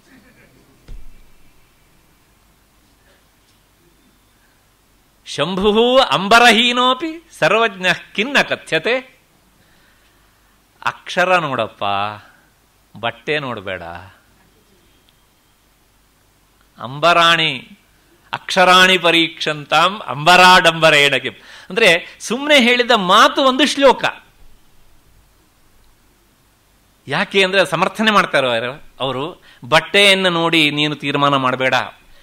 ತುಂಬಾ ಒಳ್ಳೆ ಡ್ರೆಸ್ ಮಾಡಿದವನು ಸಹ ಒಳಗಡೆಯಿಂದ ನಿರಕ್ಷರ ಕುಕ್ಷಿ ಆಗಿರಬಹುದು. ಏನು ಬಟ್ಟೆ ಹಾಕ್ಕೊಳ್ಳದೆ ಇರುವವರು? ಸಾಮಾನ್ಯ ಬಟ್ಟೆ ಧರಿಸಿದವರು ಸರ್ವಜ್ಞರಾಗಿಲ್ವೇನಪ್ಪ? ಅದಕ್ಕೆ ಕೊಡುವಂಥ ಉದಾಹರಣೆ ಶಂಭು ಅಂಬರಹೀನೋಪಿ ಸರ್ವಜ್ಞ ಕಿಂ ನ ಕಥ್ಯತೆ. ಆ ಪರಮೇಶ್ವರ ಅವನೇನು ಬಟ್ಟೆ ಹಾಕ್ಕೊಂಡಿದ್ನಪ್ಪ? ಅವನನ್ನು ಇವತ್ತು ಜಗದೀಶ್ವರ, ಪರಮೇಶ್ವರ ಅಂತ ಕರೆಯೋದು ಅವನು ಹಾಕ್ಕೊಂಡಿರೋ ಬಟ್ಟೆಯನ್ನು ನೋಡಿಯಾ? ಅಥವಾ ಅವನ ಪಾಂಡಿತ್ಯವನ್ನು ನೋಡಿಯಾ? ಇಷ್ಟು ಹೇಳಿ ತಟಸ್ಥರಾಗಿಬಿಟ್ರು ಅವರು. ಹೀಗೆ ಈ ಶ್ಲೋಕ ಅವರ ಬಾಯಿಂದ ಹೊರಬಂದ ತಕ್ಷಣ ಭಟ್ಟೋಜಿ ದೀಕ್ಷಿತರು ಅವರ ಕಾಲಿಗೆ ಬಿದ್ದು ಶಿಷ್ಯಸ್ತೇಹಂ ಶಾಧಿಮಾಂ ತ್ವಾಂ ಪ್ರಪನ್ನಂ ಅಂತ ಹೇಳಿದರು. ಅಂತಹ, ಅಂದರೆ ಅವರು ಮಾತನಾಡಿದರೂ ಸಹ ಅವರ ಬಾಯಿಂದ ಸರಸ್ವತಿ ಶ್ಲೋಕ ರೂಪದಲ್ಲಿ ಹೊರಹೊಮ್ತಾ ಇದ್ದು, ಅಂಥ ಪಾಂಡಿತ್ಯ ಅವರಿಗೆ. ಹೀಗೆ ಅಪ್ಪಯ್ಯ ದೀಕ್ಷಿತರು ಈ ಮಾತನ್ನು ಹೇಳಿ ಆದ ಮೇಲೆ ಮತ್ತೆ ನಿಸ್ಸಂಕೋಚವಾಗಿ ಭಟ್ಟೋಜ ದೀಕ್ಷಿತರು, ನನಗೆ ನೀವು ವೇದಾಂತ ಪಾಠ ಮಾಡಬೇಕು ಅಂತ ಕೇಳಿಕೊಂಡಾಗ ಆಗ್ಲಪ್ಪ ಸಂತೋಷ ಅಂತೇಳಿ ಅವರಿಗೆ ವೇದಾಂತ ಪಾಠ ಮಾಡಿ ಭಟ್ಟೋಜಿ ದೀಕ್ಷಿತರಿಗೆ. ಕೊನೆಗೆ ಅವರ ಪಾಂಡಿತ್ಯಕ್ಕೆ ಅಪ್ಪ ಅಪೇ ದೀಕ್ಷಿತರು ಸಹ ತಲೆ ತೂಗಿ ಅಪೇ ದೀಕ್ಷಿತರೇ ಹೇಳ್ತಾರೆ ಅವರಿಗೆ, ನೀನು ಕೆಲವು ಗ್ರಂಥಗಳನ್ನು ಇನ್ನೂ ಬರಿಬೇಕಾದದ್ದುಂಟು ಅಂತ ಹೇಳಿ ಆದ ಮೇಲೆ ಮತ್ತೆ ಭಟ್ಟೋಜಿ ದೀಕ್ಷಿತರು, ಅವರು ಸಹ ನಾಲ್ಕೈದು ಕೃತಿಗಳನ್ನು ಬರೆದಿದ್ದಾರೆ. ಅವರು ತತ್ವಕಸ್ತುಭ ಮುಂತಾದಂತಹ ಕೃತಿಗಳು ಸಾಕಷ್ಟು ಪ್ರಸಿದ್ಧವಾದಂಥ ಗ್ರಂಥಗಳು. ಅದನ್ನು ಬರೆದು ಅವರು ಸಾಕಷ್ಟು ಕಡೆಗೆ ಪ್ರಚಾರಪಡಿಸಿದರು ಮತ್ತು ಅಪ್ಪಯ್ಯ ದೀಕ್ಷಿತರನ್ನು ಅವರು ಬಹಳವಾಗಿ ಹಚ್ಚಿಕೊಂಡರು. ಅಪ್ಪಯ್ಯ ದೀಕ್ಷಿತರನ್ನು ಪರಿಚಯ ಮಾಡು, ಪರಿಚಯ ಮಾಡುವಂಥ ಒಂದು ಶ್ಲೋಕವನ್ನು ಭಟ್ಟೋಜಿ ದೀಕ್ಷಿತರು ಆಮೇಲೆ ಹೇಳಿ, ಹೇಳಿದರು.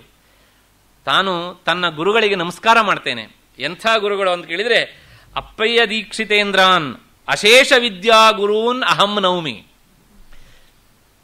ಅಶೇಷ ವಿದ್ಯಾ ಗುರು ಅಂತಾರೆ ಅಂದರೆ ಒಂದು ದೃಷ್ಟಿಯಲ್ಲಿ ಸರ್ವಜ್ಞರೇ ಅವರು, ಏನು ಸಂಶಯನೇ ಇಲ್ಲ ಅದರ ಬಗ್ಗೆ ಹೀಗೆ ಅಂತ. ಮತ್ತಷ್ಟೇ ಅಲ್ಲ, ಅವರು ಪಾಂಡಿತ್ಯ ಹೇಗಿತ್ತು ಅಂತ ಕೇಳಿದರೆ ಯತ್ಕೃತಿ ಬೋಧ ಬೋಧೌ ವಿದ್ವದ್ ಅವಿದ್ವತ್ ವಿಭಾಜಕೋಪಾಧಿ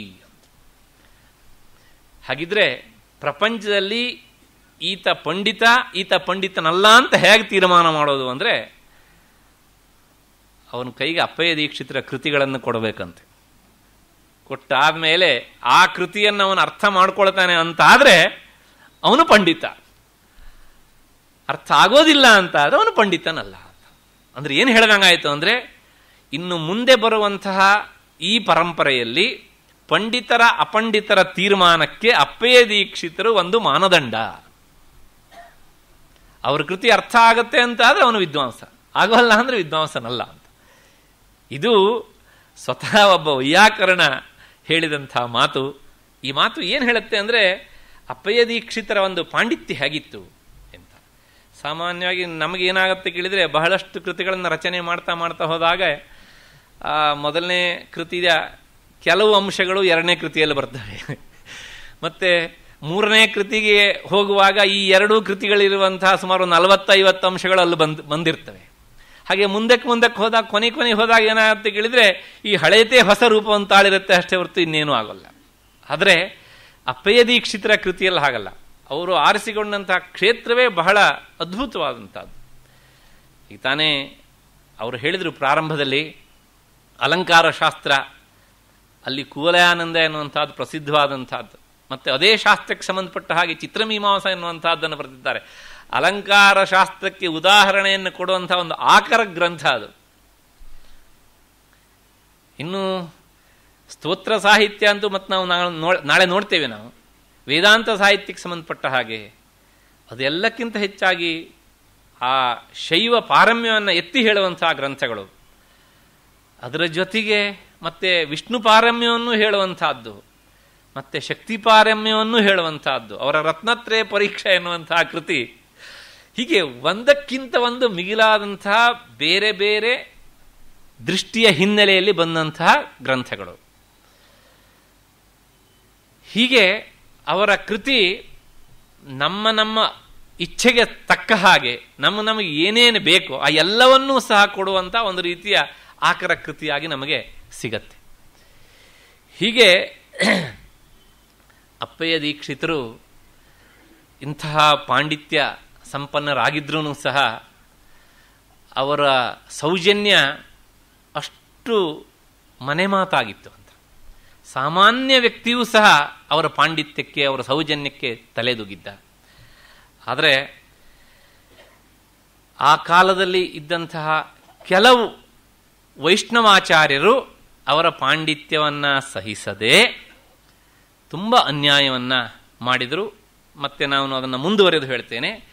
ಇವರ ಪಾಂಡಿತ್ಯಕ್ಕೆ ತಲೆದೂಗಿ ಆ ವೆಲ್ಲೂರಿನ ಅರಸ ಚಿನ್ನಬೊಮ್ಮ ತನ್ನ ಆಸ್ಥಾನದ ಪಂಡಿತನನ್ನಾಗಿ, ಕವಿಯನ್ನಾಗಿ ಅಪ್ಪಯ್ಯ ದೀಕ್ಷಿತರನ್ನು ನೇಮಿಸಿಕೊಂಡ, ರಂಗರಾಜರು ತೀರಿಕೊಂಡಾದ ಮೇಲೆ ಅಪ್ಪಯ್ಯ ದೀಕ್ಷಿತರು ಶಾಸ್ತ್ರ ಸಂಪನ್ನರು, ಕವಿಗಳು ಎನ್ನುವುದು ಎಷ್ಟು ಸತ್ಯವೋ ಅವರಷ್ಟೇ ಕರ್ಮಠರು ಎನ್ನುವುದು ಸತ್ಯ. ನೋಡಿ, ಪರಸ್ಪರ ವಿರುದ್ಧವಾದ ಮೂರು ಮುಖಗಳು ಇವು. ಯಾವನು ತುಂಬ ಕರ್ಮಠನಾಗಿರ್ತಾನೋ ಅವನು ಶಾಸ್ತ್ರಕ್ಕೆ ಸ್ವಲ್ಪ ಹಿಂಗಂದ್ಬಿಡ್ತಾನೆ. ಆಗೋದಿಲ್ಲ, ಕಷ್ಟ. ಯಾವನು ತುಂಬ ಶಾಸ್ತ್ರಾಧ್ಯಯನದಲ್ಲಿ ತನ್ನನ್ನು ತೊಡಗಿಸ್ಕೊಂಡಿರ್ತಾನೋ ಅವನಿಗೆ ಈ ಕರ್ಮ ಬೇಡ ಅಂತ ಅನಿಸ್ಬಿಡುತ್ತೆ. ಮತ್ತೆ ಆ ಶಾಸ್ತ್ರ ಪಾಂಡಿತ್ಯ ಅದರ ಗರಡಿಯಲ್ಲಿ ಮುಂದಕ್ಕೆ ಹೋಗ್ತಾ ಹೋಗ್ತಾ ಹೋದಾಗ ಏನಾಗುತ್ತೆ ಕೇಳಿದರೆ, ಈ ಕಾವ್ಯ, ಸ್ತೋತ್ರ ಇವೆಲ್ಲ ಕೈಬಿಟ್ಟು ಹೋಗ್ತವೆ. ಯಾಕೆ ಅಂದರೆ, ಇದು ಪರಸ್ಪರ ಮೂರು ಮುಖದ ಕ್ಷೇತ್ರ ಇವು.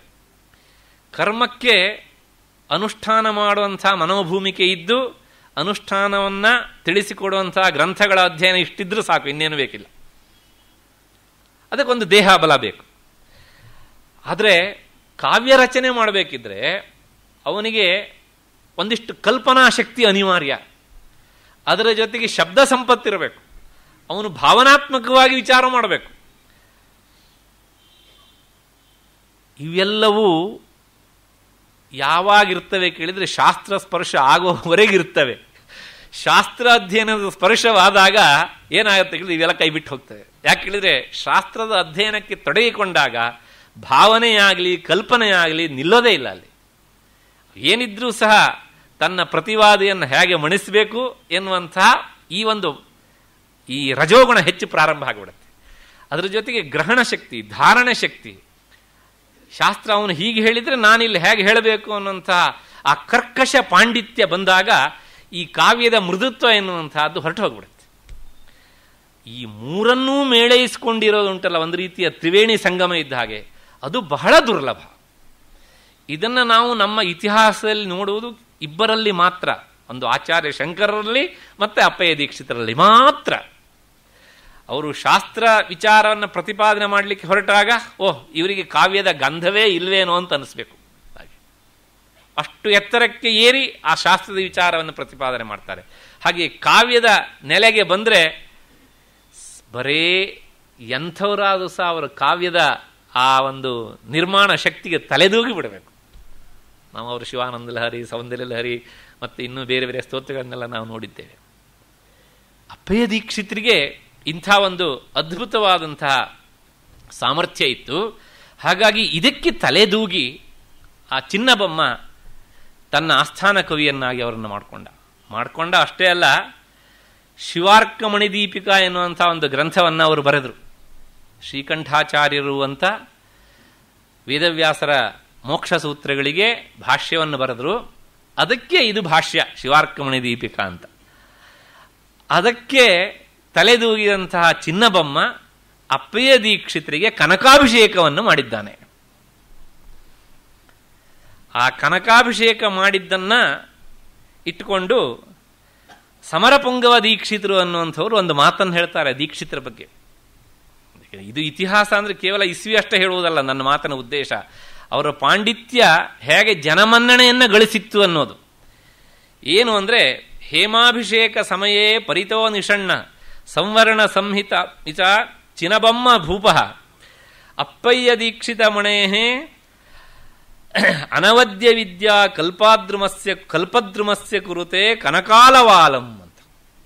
ಈ ಶ್ಲೋಕದ ಅರ್ಥ ಏನು ಅಂದರೆ, ಅಪ್ಪಯ್ಯ ದೀಕ್ಷಿತರು ಅವರು ಕೇವಲ ಪಂಡಿತರಾಗಿ ಅಷ್ಟೇ ಇರಲಿಲ್ಲ. ಅವರು ಒಂದು ಸಾಕ್ಷಾತ್ ವಿದ್ಯೆ ಎನ್ನುವಂತಹ ಕಲ್ಪಲತೆ ಆಗಿ ಇದ್ರು. ಒಂದು ಲತೆ ಅಂದರೆ ಬಳ್ಳಿ. ಆ ಬಳ್ಳಿಯನ್ನು ನಾವು ನೆಟ್ಟು ಆದಮೇಲೆ ಅದಕ್ಕೆ ನೀರು ಹಾಕ್ತೇವೆ, ಗೊಬ್ಬರ ಹಾಕ್ತೇವೆ, ಏನೆಲ್ಲ ಹಾಕ್ತೇವೆ, ಮತ್ತೆ ಹಾಕಿದ ಎಲ್ಲವುದೂ ಸಹ ವ್ಯರ್ಥ ಆಗದೇ ಇರಲಿ ಅಂಥೇಳಿ ಅದಕ್ಕೆ ಸುತ್ತಲೂ ಒಂದು ಪಾತಿ ಕಟ್ತೇವೆ ನಮಗೆ ಅಂತ. ಹಾಗೆ ಈ ಚಿನ್ನಬೊಮ್ಮ ಅಪ್ಪಯ್ಯ ದೀಕ್ಷಿತರು ಎನ್ನುವಂಥ ಈ ಕಲ್ಪಲತೆ ಕಲ್ಪ ಬಳ್ಳಿಯನ್ನು ನೆಟ್ಟು ಅದಕ್ಕೆ ಈ ಕನಕಾಭಿಷೇಕ ಚಿನ್ನದ ನಾಣ್ಯವನ್ನ ಅವರ ಮೇಲೆ ಸುರಿಸುವುದರ ಮೂಲಕ ಪೂರ್ತಿ ಅದರಿಂದ ಮುಚ್ಚಿದ್ದ ಅವರನ್ನ ಆತ. ಈ ಲತೆಗೆ ಒಂದು ಆಲವಾಲ ಪಾತಿಯನ್ನ ಕಟ್ಟಿದ. ಎನ್ನುವಂತಹ ಮಾತನ್ನ ಈ ಸಮರಪುಂಗವ ದೀಕ್ಷಿತರು ಎನ್ನುವಂಥವರು, ಅಂದರೆ ಅಪ್ಪಯ್ಯ ದೀಕ್ಷಿತರ ಇಂಗಿಂತ ಮುಂದೆ ಮೂರು ತಲೆಮಾರಿನ ಮುಂದಿನವರು, ಅವರು ಈ ಮಾತನ್ನು ಹೇಳ್ತಾರೆ. ಮತ್ತೆ ಇಂತಹ ಈ ಪಾಂಡಿತ್ಯ ಅವರ ಪ್ರತಿಭೆಗೆ ಸಿಕ್ಕಂತಹ ಮನ್ನಣೆ ಇದನ್ನೆಲ್ಲ ನೋಡಿ ಆದ ಮೇಲೆ ಇದನ್ನು ಸಹಿಸ್ಲಿಕ್ಕಾಗದೆ ಇರುವಂತಹ ಆ ಕಾಲದ ಕೆಲವು ವೈಷ್ಣವ ಪಂಡಿತರು ಇವ್ರನ್ನ ಏನಾದರೂ ಮಾಡಿ ಮುಗಿಸ್ಬೇಕು ಅಂಥೇಳಿ ಸೊಂಟ ಕಟ್ಟಿದರು. ಪ್ರಾಯಶಃ ನಿಮಗೆ ಗೊತ್ತಿರಬೇಕು, ನಮ್ಮ ದೇಶದಲ್ಲಿ ಶೈವ ವೈಷ್ಣವ ಜಿದ್ದಾಜಿದ್ದಿಗೆ ಜಗಳಕ್ಕೆ ದಕ್ಷಿಣ ಭಾರತದಲ್ಲಿ ತಮಿಳುನಾಡೇ ವೇದಿಕೆಯಾಗಿತ್ತು. ಇವತ್ತಿಗೂ ಸಹ ಅಲ್ಲಿನ ದೇವಾಲಯಗಳು ಅದಕ್ಕೆ ಶಾಸನವನ್ನು ನಮಗೆ ಒದಗಿಸಿ ಕೊಡ್ತವೆ. ನೀವು ಬೇಕಾದರೆ ಮಧುರೆಗೆ ಹೋಗಿ, ರಾಮೇಶ್ವರಕ್ಕೆ ಹೋಗಿ, ಎಲ್ಲೇ ಹೋಗಿ, ಆ ಎಲ್ಲ ಆದರೂ ಒಂದು ಸಂತೋಷ ಪಡಬೇಕು. ಏನೋ ಕೇಳಿದರೆ ಈ ಜಗಳದ ಹಿನ್ನೆಲೆಯಲ್ಲಿ ಎರಡೂ ಕ್ಷೇತ್ರಗಳು ಸಾಕಷ್ಟು ಬೆಳೆದು ನಿಂತಿವೆ.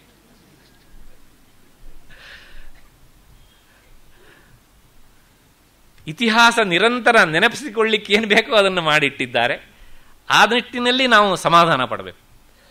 ಅಲ್ಲಿ ಇವರ ಪಾಂಡಿತ್ಯವನ್ನು ಸಹಿಸಲಿಕ್ಕೆ ಆಗದೆ ತಾತಾಚಾರ್ಯ ಅನ್ನುವಂಥ ಒಬ್ಬ ಮಹಾವೈಷ್ಣವ ಪಂಡಿತರು ಈ ಚಿನ್ನಬೊಮ್ಮನಿಗೆ ಸ್ವಲ್ಪ ತಲೆಗೆ ವಿಷದ ಬೀಜವನ್ನು ತುಂಬಿದರು ಅಂತ ಇತಿಹಾಸ ಸ್ಪಷ್ಟ ಹೇಳುತ್ತೆ. ಇದನ್ನು ಯಾರೂ ಮರೆಮಾಚೋದಿಲ್ಲ, ನೇರವಾಗಿ ಹೇಳ್ತಾರೆ. ಇಂಥ ಸಂದರ್ಭವನ್ನು ಆತ ಹೇಗೆ ಗಿಟ್ಟಿಸಿಕೊಂಡ್ರು ಅನ್ನೋದೊಂದು ಪ್ರಶ್ನೆ. ಅಪ್ಪಯ್ಯ ದೀಕ್ಷಿತರು, ಕರ್ಮಠರು ಅಂತ ಈಗ ತಾನೇ ನಾನು ಹೇಳಿದೆ. ಅವರು ಈಗಾಗಲೇ ಸೋಮಯಾಗ ಮತ್ತು ಜ್ಯೋತಿಷ್ಠೋಮಯಾಗ ಇದನ್ನೆಲ್ಲ ಮಾಡಿದ್ದರು. ಇದನ್ನೆಲ್ಲ ಮಾಡಿದಾಗ ನೋಡಿದಂಥ ಜನರು, ಅವರ ಹತ್ರ ನೀವು ವಾಜಪೇಯ ಯಾಗವನ್ನು ಮಾಡಬೇಕು ಅಂತ ಹೇಳಿ ಅವರ ಹತ್ರ ವಾಜಪೇಯ ಯಾಗವನ್ನು ಮಾಡಿಸಿದ್ದಾರೆ. ಆ ವಾಜಪೇಯ ಯಾಗವನ್ನು ಅವರು ತಮ್ಮ ಊರಿನಲ್ಲಿಯೇ ಅಡೆಯಪಾಳಂದಲ್ಲೇ ಮಾಡಿದರು ಎನ್ನುವಂಥ ಒಂದು ಅಭಿಪ್ರಾಯ ಸಿಕ್ಕತ್ತೆ ನಮಗೆ. ಹೀಗೆ ವೆಲ್ಲೂರನ್ನು ಬಿಟ್ಟು ಅವರು ಅಲ್ಲಿಗೆ ಹೋದಾಗ, ವಾಜಪೇಯಿ ಯಾಗ ಅದು ಬಹುದಿನ ಶ್ರಮ ಸಾಧ್ಯವಾದಂಥ ಯಾಗ. ಅದನ್ನು ಮಾಡಿ ಮುಗಿಸಿದಾಗ ಆ ವಾಜಪೇಯಿ ಯಾಗವನ್ನು ಮಾಡಿದಂತಹ ದೀಕ್ಷಿತರಿಗೆ ಇಂಥ ಅದ್ಭುತವಾದಂಥ ಕೆಲಸ ಮಾಡಿದ್ದೀಯ ಅಂಥೇಳಿ ರಾಜರಾದವರು ಸ್ವತಃ ರೇಷ್ಮೆಯ ಛತ್ರವನ್ನು, ಕೊಡೆಯನ್ನು ಅವರಿಗೆ ಹಿಡಿಯುವಂತಹದ್ದು ಸಂಪ್ರದಾಯ. ಹೀಗೆ ಅಪ್ಪಯ್ಯ ದೀಕ್ಷಿತರು ಯಾಗವನ್ನು ಮಾಡಿದಾಗ ಸ್ವತಃ ಯಾರ ಆಸ್ಥಾನದಲ್ಲಿ ಅಪ್ಪಯ್ಯ ದೀಕ್ಷಿತರು ಇದ್ರೋ ಚಿನ್ನಬೊಮ್ಮನ ಆಸ್ಥಾನದಲ್ಲಿ, ಚಿನ್ನಬೊಮ್ಮ ಅಪ್ಪಯ್ಯ ದೀಕ್ಷಿತರ ಅವಭೃತ ಸ್ನಾನದ ಸಂದರ್ಭಕ್ಕೆ ಈ ಛತ್ರವನ್ನು ಹಿಡಿಲಿಕ್ಕೆ ಹೋಗಲಿಲ್ಲ.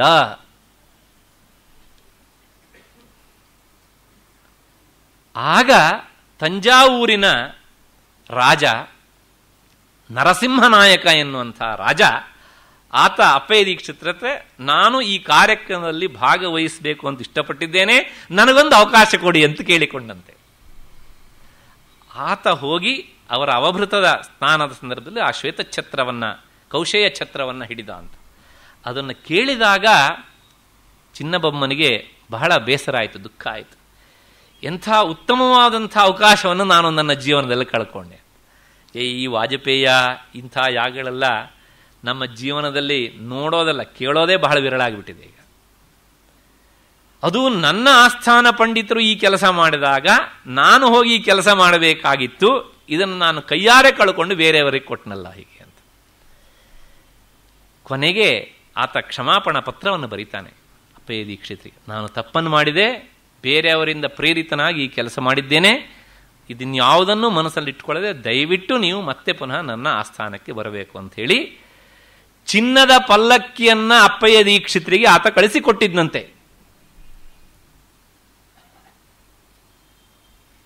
ಅಪ್ಪಯ್ಯ ದೀಕ್ಷಿತರು ಮತ್ತೆ ಪುನಃ ಬಂದಾಗ, ಅವರನ್ನು ಸ್ವಾಗತ ಮಾಡಲಿಕ್ಕೆ ಅಂತ ಚಿನ್ನಬೊಮ್ಮ ನಿಂತಾಗ, ಸ್ವಾಗತ ಮಾಡೋದಕ್ಕಿಂತ ಮುನ್ನವೇ ಏನೇನಾಯಿತು ಅಂತ ಎಲ್ಲವನ್ನೂ ಸಹ ಚಿನ್ನಬೊಮ್ಮ ಅಪ್ಪಯ್ಯ ದೀಕ್ಷಿತರಿಗೆ ಹೇಳಿದ.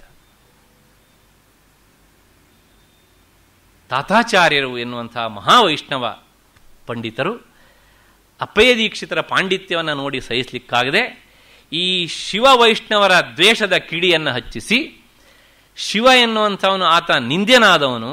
ಯಾಕೆ ಹೇಳಿದರೆ ಅವನ ಕೆಲಸವೇ ಸಂಹಾರ ಮಾಡುವಂಥದ್ದು, ಮತ್ತು ಶಿವನನ್ನು ಪ್ರತಿಪಾದನೆ ಮಾಡುವಂಥ ಗ್ರಂಥಗಳು ತಮೋಗುಣ ಭೂಯಿಷ್ಠವಾದ ಗ್ರಂಥಗಳು ಅಂಥವರಿಗೆ ನೀನು ನಿನ್ನ ಆಸ್ಥಾನದಲ್ಲಿ ಯಾಕೆ ಅವಕಾಶ ಕೊಟ್ಟಿದ್ದೀಯೇ? ಹಾಗಾಗಿ ನನಗೆ ಅವರಿಗಿಂತ ಹೆಚ್ಚು ಪಾಂಡಿತ್ಯ ಇರುವಾಗ ನನ್ನನ್ನು ನೀನು ಯಾಕೆ ನಿಯಮಿಸಿಕೊಳ್ಳಬಾರದು ಅಂತ ಹೇಳಿ ಚಿನ್ನಬೊಮ್ಮನಿಗೆ ಇದು ಹೌದು ಅಂತ ಎನಿಸಿ ಆದಮೇಲೆ ಆ ಅಪ್ಪಯ್ಯ ದೀಕ್ಷಿತರ ಅನುಪಸ್ಥಿತಿಯಲ್ಲಿ ತಾತಾಚಾರ್ಯರು ಅಲ್ಲಿ ತಳ ಊರಿದರು. ತಳ ಊರಿ ಆದ ಮೇಲೆ ಅವರು ಈ ವೈಷ್ಣವ ತತ್ವ ಪ್ರಚಾರಕ್ಕೆ ಅಂಥೇಳಿ ಸುಮಾರು ಒಂಬತ್ತು ಸಾವಿರ ವ್ಯಕ್ತಿಗಳಿಗೆ ಮದುವೆಯನ್ನು ಮಾಡಿಸುವಂತಹ ಹೊಣೆಗಾರಿಕೆಯನ್ನು ಹೊತ್ತು ಆ ಹೊಣೆಗಾರಿಕೆಯನ್ನು ಈಡೇರಿಸುವುದಕ್ಕೆ ಆಸ್ಥಾನದಿಂದ ಬೊಕ್ಕಸದಿಂದಲೇ ಸಾಕಷ್ಟು ಹಣವನ್ನು ಕೊಡಿಸಿದ್ದಾರೆ.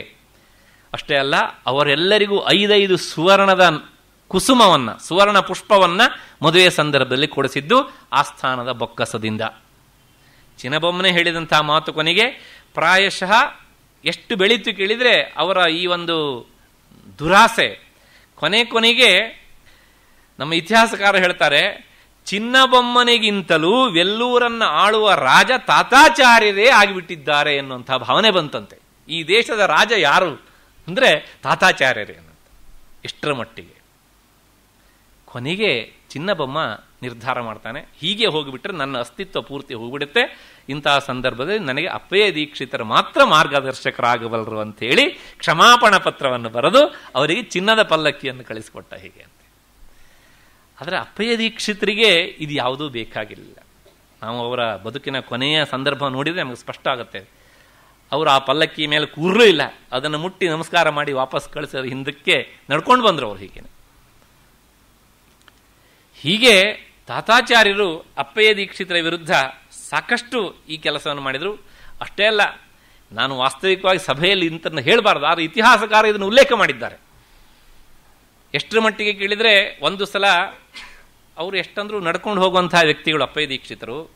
ಒಂದು ಸಲ ಹೀಗೆ ಬೇರೆ ಊರಿಗೆ ಹೋಗುವಂತಹ ಸಂದರ್ಭದಲ್ಲಿ ಕೆಲವು ಜನರನ್ನ, ಬಾಡಿಗೆಯ ಜನರನ್ನ ಇಳಿಸಿ ಅವರ ಕೊಲೆಗೂ ಸಹ ಪ್ರಯತ್ನ ಮಾಡಿದರು ಅಂತ. ಆಗ ಅಪ್ಪಯ್ಯ ದೀಕ್ಷಿತರು ಶಿವನನ್ನ ಕುರಿತು ನನ್ನ ಶತ್ರುಗಳು ಮಾಡ್ತಾ ಇರುವಂತಹ ಈ ಪ್ರಯತ್ನವನ್ನು ನೀನೇ ನಿಗ್ರಹ ಮಾಡಬೇಕಪ್ಪ ಅಂತ ಹೇಳಿ ನಿಗ್ರಹಾಷ್ಟಕ ಅಂತ ಒಂದು ಸ್ತೋತ್ರ ಬರೆದಿದ್ದಾರೆ ಈಗ. ಅವರು ಹೇಳುವಂಥ ಒಂದು ಶ್ಲೋಕದ ಒಂದು ಮಾತು ಏನು ಕೇಳಿದರೆ ಈಶ್ವರನನ್ನು ಕುರಿತು ಹೇಳಿದಂಥ ಮಾತು. ನಾನು ಈ ದೇಹವನ್ನು ಧರಿಸಿ ಬಂದದ್ರಿಂದಲೇ ನನಗೆ ಸಾವು ಎನ್ನುವುದು ಖಚಿತ. ಆದರೆ ನಾನು ಹೇಗೆ ಸಾಯಬೇಕು ಎನ್ನುವಂತಹ ತೀರ್ಮಾನ ನೀನು ಮಾಡಬೇಕೇ ಅಷ್ಟೇ ಹೊರತು ಸಹ ನನ್ನ ಶತ್ರುಗಳಾಗಬಾರದು. ಅವರು ತೀರ್ಮಾನ ಮಾಡಬಾರದು. ಹಾಗಾಗಿ ನಿನಗೆ ಹೇಗೆ ಇಷ್ಟ ಇದೆಯೋ ಹಾಗೆ ನನ್ನನ್ನು ನೀನು ನೋಡಿಕೋ, ನನ್ನನ್ನು ರಕ್ಷಣೆ ಮಾಡು ಅಂತ ಪ್ರಾರ್ಥನೆ ಮಾಡ್ತಾ ಅವರು ಹೋದರು. ಆಗ ಅವರೆಲ್ಲರೂ ಸಹ ನಿಶ್ಚೇಷ್ಟರಾಗಿದ್ದರು ಎನ್ನುವಂಥ ಮಾತನ್ನು ಇತಿಹಾಸಕಾರರು ಉಲ್ಲೇಖ ಮಾಡ್ತಾರೆ.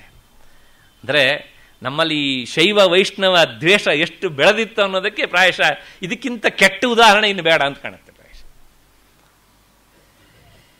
ಅಷ್ಟೇ ಅಲ್ಲ, ಅವರು ಒಮ್ಮೆ ಶ್ರೀರಂಗಕ್ಕೆ ಹೋಗಿದ್ರಂತೆ. ಶ್ರೀರಂಗಕ್ಕೆ ಹೋದಾಗ ಅದು ಶ್ರೀರಂಗ ಕ್ಷೇತ್ರ ವಿಷ್ಣುವಿನ ಸಾನ್ನಿಧ್ಯ ಇರುವಂಥ ಅದರಿಂದ ಈ ಹಿಂದೆ ಹೇಳಿದಂಥ ತಾತಾಚಾರ್ಯರಿಂದ ಪ್ರೇರಿತ ಅಂತ ಅಲ್ಲಿನ ಅರ್ಚಕರು ಇವರಿಗೆ ಒಳಗಡೆ ಪ್ರವೇಶ ಬಿಡಲಿಲ್ಲ. ಆಗ ಹೊರಗಡೆ ನಿಂತಹ ದೀಕ್ಷಿತರು, ನಾನು ನಿನ್ನನ್ನು ನೋಡಲಿಲ್ಲ, ನಿನ್ನ ಆಕಾರ ಹೇಗಿದೆ ಅಂತ. ನೋಡಲಿಕ್ಕೆ ಬಂದೇ ಅವಕಾಶ ಕೊಡಲಿಲ್ಲ. ಹಾಗಾಗಿ ನೀನು ಹೇಗಿದ್ದೀಯೋ ಗೊತ್ತಿಲ್ಲ.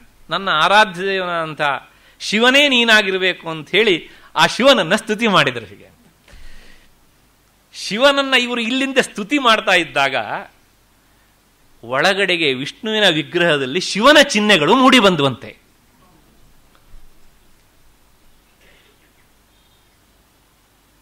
ನಾನು ಹೇಳ್ತಾ ಇರುವಂಥ ವಿಚಾರ ಕೇವಲ ಕಟ್ಟುಕಥೆಗಳಲ್ಲ, ಒಬ್ಬ ಐ ಎ ಎಸ್ ಅಧಿಕಾರಿಗಳು ಇದನ್ನು ಉಲ್ಲೇಖ ಮಾಡ್ತಾರೆ. ಆಗ ಒಳಗೆ ಇದ್ದಂಥವರು ನೋಡಿ, ಆ ರಂಗನಾಥನ ವಿಗ್ರಹವನ್ನು ನೋಡಿ, ಹೊರಕ್ಕೆ ಬಂದು ಯಾರೋ ಮಹಾನುಭಾವರು ಇರಬೇಕು ಅಂತ ಹೇಳಿ ಅವ್ರನ್ನ ಒಳಗೆ ಕರ್ಕೊಂಡು ಹೋದಾಗ ಆಗ ರಂಗನಾಥನ ಸ್ತುತಿ ಮಾಡ್ತಾರೆ ಅವರು. ಏನು ಹೇಳಿದ್ರು ಕೇಳಿದ್ರೆ ಇದಂಚ ರಂಗಂ, ತ್ಯಜತಾಮಿಹಾಂಗಂ ನವಿದ್ಯತೆಂಗಂ ಯದಿ ವಸ್ತುಚಾಂಗಂ. ಪಾಣೋ ರಥಾಂಗಂ ಶಯನೇ ಭುಜಂಗಂ ಯಾನೇ ವಿಹಂಗಂ ಚರಣೇ ಚ ಗಾಂಗಂ. ವಿಷ್ಣುವನ್ನು ಕುರಿತು ಸ್ತುತಿ ಮಾಡಿತು ಈ ಪ್ರಾಸ, ಈ ಶಬ್ದ ಸೌಷ್ಠವ ಎಷ್ಟು ಸುಂದರವಾಗಿದೆ ನೋಡಿ. ಮತ್ತಷ್ಟೇ ಅಲ್ಲ ಅದರಲ್ಲಿ ಎಂಥ ಒಂದು ವೇದಾಂತ ಉಂಟು. ಇದಂಚ ರಂಗಂ ತ್ಯಜತಾಂ ಇಹಾಂಗಂ ಹೇಳಿದ್ದೇನೆ ಕೇಳಿದರೆ, ಇಹ ಅಂದರೆ ಈ ಸ್ಥಳದಲ್ಲಿ ಅಂಗ ಅಂದರೆ ಶರೀರ ಅಂತ ಅರ್ಥ. ಇದನ್ನು ಬಿಡುವವರಿಗೆ ಇದಂಚ ರಂಗಂ. ಅಂದರೆ ನಿನ್ನ ಸಾನ್ನಿಧ್ಯದಲ್ಲಿ ದೇಹ ಬಿಡುವವರಿಗೆ ಇದೊಂದು ವೇದಿಕೆ ಆಗಲಪ್ಪ. ಅಂದರೆ ನಿನ್ನನ್ನು ನೋಡ್ತಾ ನೋಡ್ತಾ ದೇಹ ಬಿಡುವಂಥ ಭಾಗ್ಯ ನನಗೆ ಬರಲಪ್ಪ. ಒಬ್ಬ ವಿಷ್ಣು ದ್ವೇಷಿಯಾದ ಪಕ್ಷದಲ್ಲಿ ಈ ಮಾತನ್ನು ಹೇಳಲಿಕ್ಕೆ ಸಾಧ್ಯ ಉಂಟ. ಮತ್ತಷ್ಟೇ ಅಲ್ಲ, ನವಿದ್ಯತೆಯಂಗಂ ಯದಿ ವಾಸ್ತುಚಾಂಗಂ ಪಾಣೋ ರಥಾಂಗಂ. ನೀನು ಹೇಗಿದ್ದೆ ಕೇಳಿದ್ರೆ, ರಥಾಂಗ, ರಥ ಅಂದರೆ ರಥ, ಅದರ ಅಂಗ ಅಂದರೆ ರಥದ ಚಕ್ರ. ನೀನು ಕೈಯಲ್ಲಿ ಏನು ಹಿಡಿದಿದ್ದೀಯೇ? ಚಕ್ರವನ್ನು ಹಿಡಿದಿದ್ದೀಯೇ?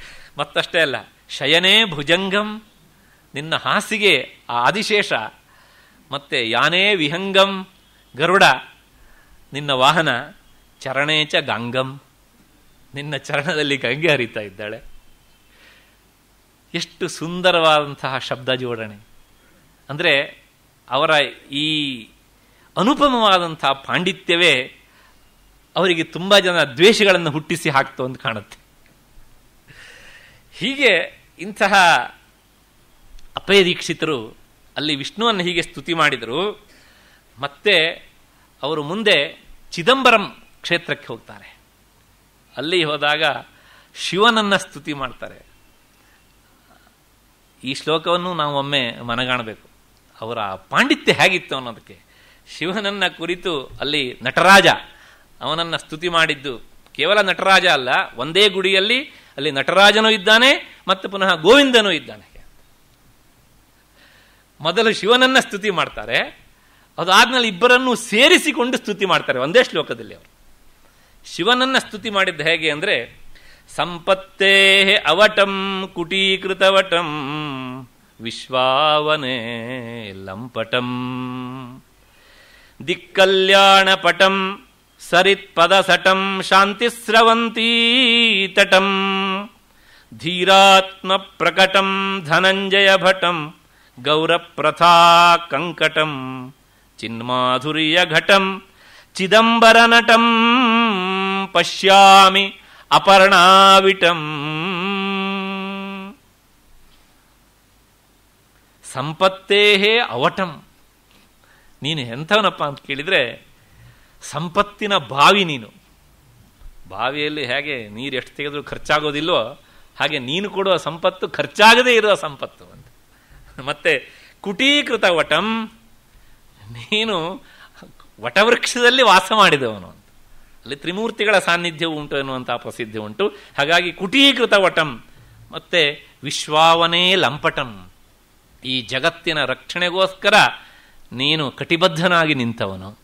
ಆ ಪ್ರಾಸ ಎಲ್ಲ ಗಮನಿಸ್ತಾ ಹೋಗಿ ಹಾಗೆ ಅಂತ. ಮತ್ತೆ, ದಿಕ್ಕಲ್ಯಾಣ ಪಟಂ, ನಿನ್ನ ಬಟ್ಟೆ ಎಂಥದ್ದು ಕೇಳಿದರೆ ದಿಕ್ಕುಗಳೇ ಸಾಮಾನ್ಯವಾಗಿ ನಾವು ದಿಗಂಬರ ಅಂತೇವೆ. ಹೆಚ್ಚು ಪ್ರಸಿದ್ಧ ಅಂತ ಶಬ್ದ. ಆದರೆ ದೀಕ್ಷಿತರು ಹೇಳ್ತಾರೆ, ದಿಕ್ಕಲ್ಯಾಣ ಪಟಂ, ಮತ್ತೆ ಸರಿತ್ ಪದ ಸಟಂ. ಸಟ ಅಂದ್ರೆ ಕೂದಲು, ಜಟೆ ಅಂತ ಅರ್ಥ. ಸರಿತ್ ಪದ ಅಂದರೆ ಗಂಗಾ ನದಿ ನೀನು ನಿನ್ನ ಜಟೆಯಲ್ಲಿ ಗಂಗೆಯನ್ನ ಧಾರಣೆ ಮಾಡಿದವನು. ಮತ್ತೆ ಶಾಂತಿ ಸ್ರವಂತಿ ತಟಂ. ಅಷ್ಟೇ ಅಲ್ಲ, ನಿನ್ನನ್ನು ನೋಡಿಬಿಟ್ರೆ ಜೀವನದ ಎಲ್ಲ ಶಾಂತಿಯೂ ಸಹ ಅದು ಸ್ರವಂತಿ ತಟಂ, ಪ್ರಪಾತಕ್ಕೆ ಬಂದು ಧುಮುಕಿದ ಹಾಗೆ ಆ ಶಾಂತಿ ಎನ್ನುವಂತಹದ್ದು ಸದಾ ನಮಗೆ ಸಿಗ್ತಾ ಇರುತ್ತೆ. ಅಷ್ಟೇ ಅಲ್ಲ, ಧೀರಾತ್ಮ ಪ್ರಕಟಂ. ನೀನು ಶಾಂತಿಯನ್ನು ಕೊಡುವವನು ಹೌದು, ಅಂದ ಮಾತ್ರಕ್ಕೆ ನೀನು ಹೇಳಿಯಲ್ಲ. ಧೀರಾತ್ಮ ಪ್ರಕಟಂ ಮತ್ತೆ ಧನಂಜಯ ಭಟಂ. ಧನಂಜಯ ಅಂದರೆ ಅರ್ಜುನ. ಅವನಿಗೆ ನೀನು ಭಟನಾಗಿದ್ದೆ. ಭಟನಾಗಿದ್ದೆ ಅಂದರೆ ಆ ಪಾಶುಪತಾಸ್ತ್ರವನ್ನು ಕೊಡುವಂಥ ಇಂದ್ರಕೀಲದ ಸಂದರ್ಭವನ್ನು ಇಟ್ಟುಕೊಂಡು ಅವನು ಕೇಳಿದ್ದು ಕೊಟ್ಟಿಲ್ಲ ನೀನು. ಕೇಳಿದ್ದು ಕೊಟ್ಟೆ ಅಂದ್ರೆ ಏನು? ಅವನು ಕೇಳಿ, ಹೇಳಿದ್ದನ್ನು ಮಾಡುವವನು ಅಂತ. ಹಾಗಾಗಿ ಧನಂಜಯ ಭಟಂ. ಮತ್ತೆ ಗೌರಪ್ರಥಾ ಕಂಕಟಂ ನಿನ್ನ ವರ್ಣ ಹೇಗುಂಟು, ಬಣ್ಣ ಹೇಗುಂಟು ಕೇಳಿದರೆ ಗೌರಪ್ರಥ. ಅಷ್ಟು ಶುಭ್ರವಾಗಿದ್ದೀಯ ನೀನು. ಇಂತಹ ನೀನು ಚಿನ್ ಮಾಧುರ್ಯ ಘಟಂ. ಚಿತ್ ಅಂದರೆ ಜ್ಞಾನ ಅಂತ ಅರ್ಥ. ಆ ಜ್ಞಾನಾನಂದದ ಘಟ ನೀನು ಮಡಕೆಯಾಗಿದ್ದೀಯೇ. ಮತ್ತಷ್ಟೇ ಅಲ್ಲ, ಚಿದಂಬರ ನಟಂ, ಈ ಚಿದಂಬರ ಕ್ಷೇತ್ರದಲ್ಲಿ ನಟರಾಜ ಅಂತ ಕರೆಸ್ಕೊಂಡಿದ್ದೀಯೇ. ಮತ್ತೆ ಇಂಥ ನಿನ್ನನ್ನು ನಾನು ನೋಡ್ತೇನೆ, ಏನಾಗಿ ಕೇಳಿದ್ರೆ ಪಶ್ಯಾಮಿ ಅಪರ್ಣಾ ವಿಟಂ.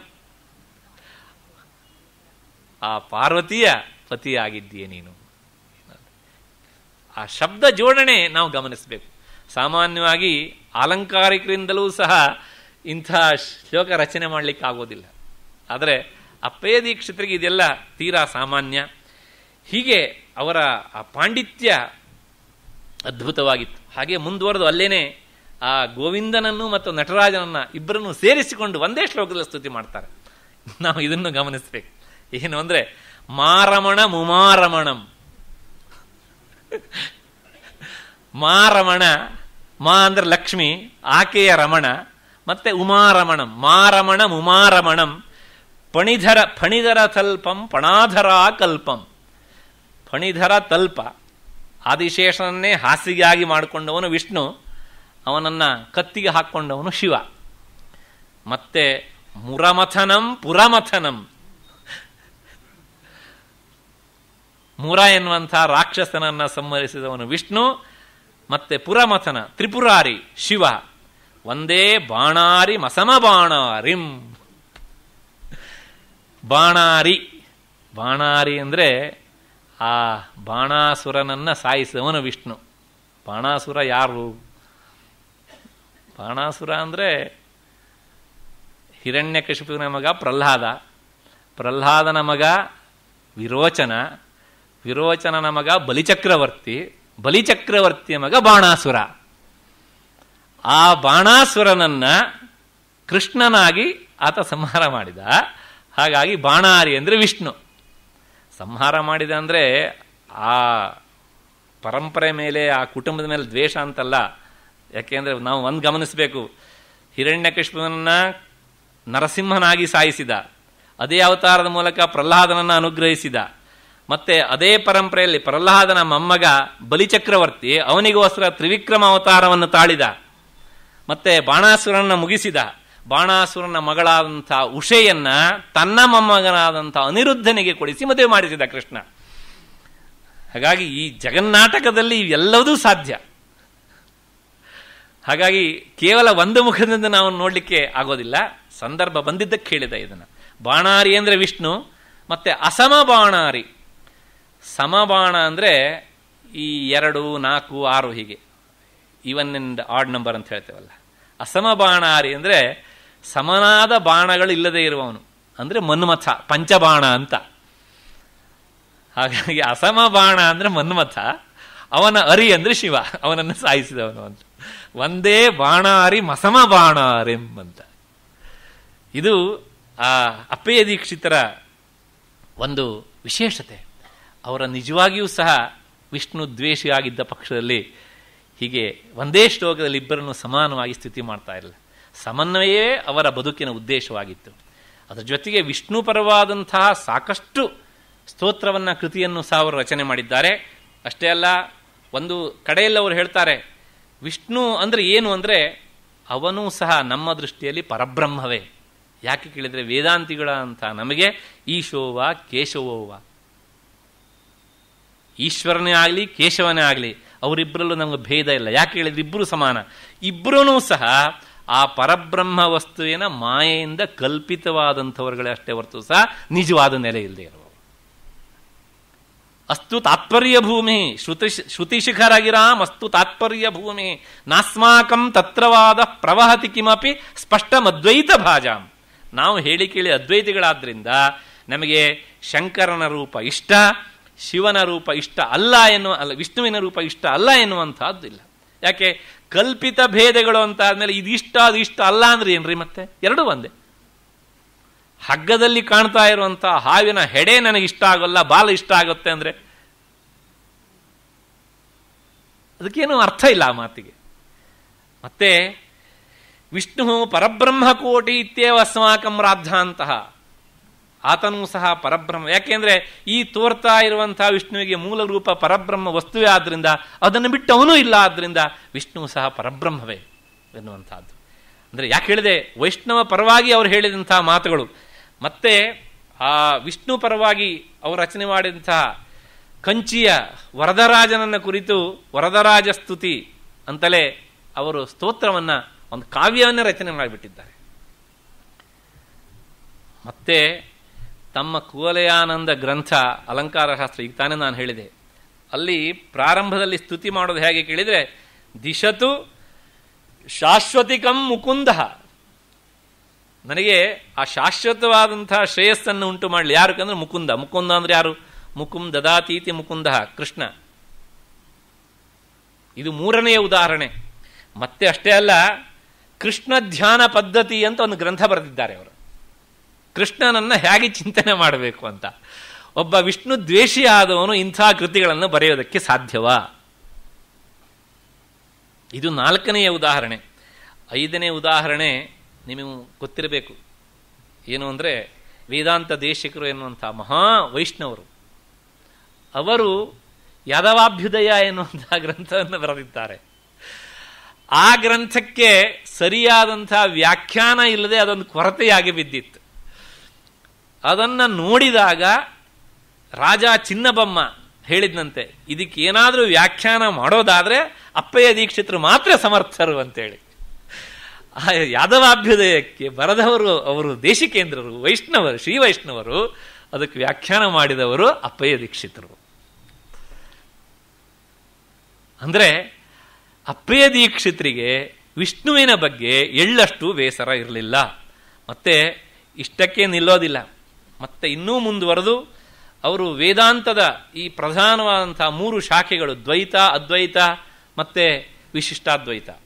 ಈ ಮೂರು ಶಾಖೆಗಳಲ್ಲೂ ಬಂದಂತಹ ಒಂದು ಅಧಿಕರಣ ತ್ರಯ ಸಾರ ಅಧಿಕರಣ ಸಾರ ಸಂಗ್ರಹ ಎನ್ನುವಂತಹ ಗ್ರಂಥಗಳನ್ನು ಬರೆದಿದ್ದಾರೆ. ಅದರೊಳಗೆ ಆಚಾರ್ಯ ಮಧ್ವರು ಬರೆದಂತಹ ಗ್ರಂಥದ ಸಾರವನ್ನು ಇಷ್ಟು ಅಂತ ತಿಳಿಸುವಂತಹದ್ದು ನ್ಯಾಯಮುಕ್ತಾವಳಿ. ಈಗ ತಾನೇ ರಾಮಸ್ವಾಮಿಗಳು ಹೇಳಿದರು ಅದನ್ನ. ಮತ್ತೆ ರಾಮಾನುಜ ಪರಂಪರೆಯ ಕ್ರಮದಂತೆ ಹೀಗೆ ಅಂತ ಹೇಳುವಂತಹದ್ದು ನ್ಯಾಯ ಮಯೂಖಮಾಲ, ಮತ್ತೆ ಅದ್ವೈತ ಕ್ಷೇತ್ರಕ್ಕೆ ವಿಭಾಗಕ್ಕೆ ಸಂಬಂಧಪಟ್ಟಂತಹ ವಿಚಾರ ಅಂತ ತಿಳಿಸುವಂತಹದ್ದು ನ್ಯಾಯಮಂಜರಿ ಅನ್ನುವಂಥ ಒಬ್ಬ ಸಮನ್ವಯ ಮನೋಭೂಮಿಕೆ ಇಲ್ಲದೆ ಇರುವಂಥವನು ಹೀಗೆ ಮೂರನ್ನು ಬರೆಯೋದಕ್ಕೆ ಸಾಧ್ಯನಾ ಹೇಳಿ ನೀವು. ಒಂದು ಪ್ರಶ್ನೆ ಕೇಳ್ತೇನೆ ನಾನು. ಅಪ್ಪಯ್ಯ ದೀಕ್ಷಿತರು ಖಟ್ಟ ಅದ್ವೈತಿಗಳಾಗಿ ಸಮನ್ವಯ ದೃಷ್ಟಿಯಿಂದ ಮೂರೂ ಶಾಖೆಗಳಿಗೂ ಸರಿಯಾದಂಥ ಇವ್ರು ಹೀಗೆ ಹೇಳ್ತಾರೆ, ಇವ್ರು ಹೀಗೆ ಹೇಳ್ತಾರೆ, ಇವ್ರು ಹೀಗೆ ಹೇಳ್ತಾರೆ ಅಂತ ತಿಳಿಸ್ಕೊಟ್ರು ಆದರೆ ಅಂದಿನಿಂದ ಇಂದಿನವರೆಗೆ ಯಾವ ಶ್ರೀ ವೈಷ್ಣವ, ಯಾವ ವೈಷ್ಣವ ಅದ್ವೈತ ಗ್ರಂಥವನ್ನು ಇಟ್ಟುಕೊಂಡು ಸಮನ್ವಯ ಮಾಡಿ ತೋರಿಸಿದ್ದಾರೆ ಹೇಳಿ ನೋಡೋಣ. ನಾನು ಪ್ರಾರಂಭದಲ್ಲಿ ಅದಕ್ಕೋಸ್ಕರ ಹೇಳಿದೆ, ಸಭೆಯಲ್ಲಿ ಹೇಳುವಂಥ ಮಾತಲ್ಲ, ಬೇಸರ ಆಗುತ್ತೆ ಅಂತ. ಆದರೂ ಅನಿವಾರ್ಯ, ಏನು ಮಾಡಲಿಕ್ಕೂ ಬರೋದಿಲ್ಲ.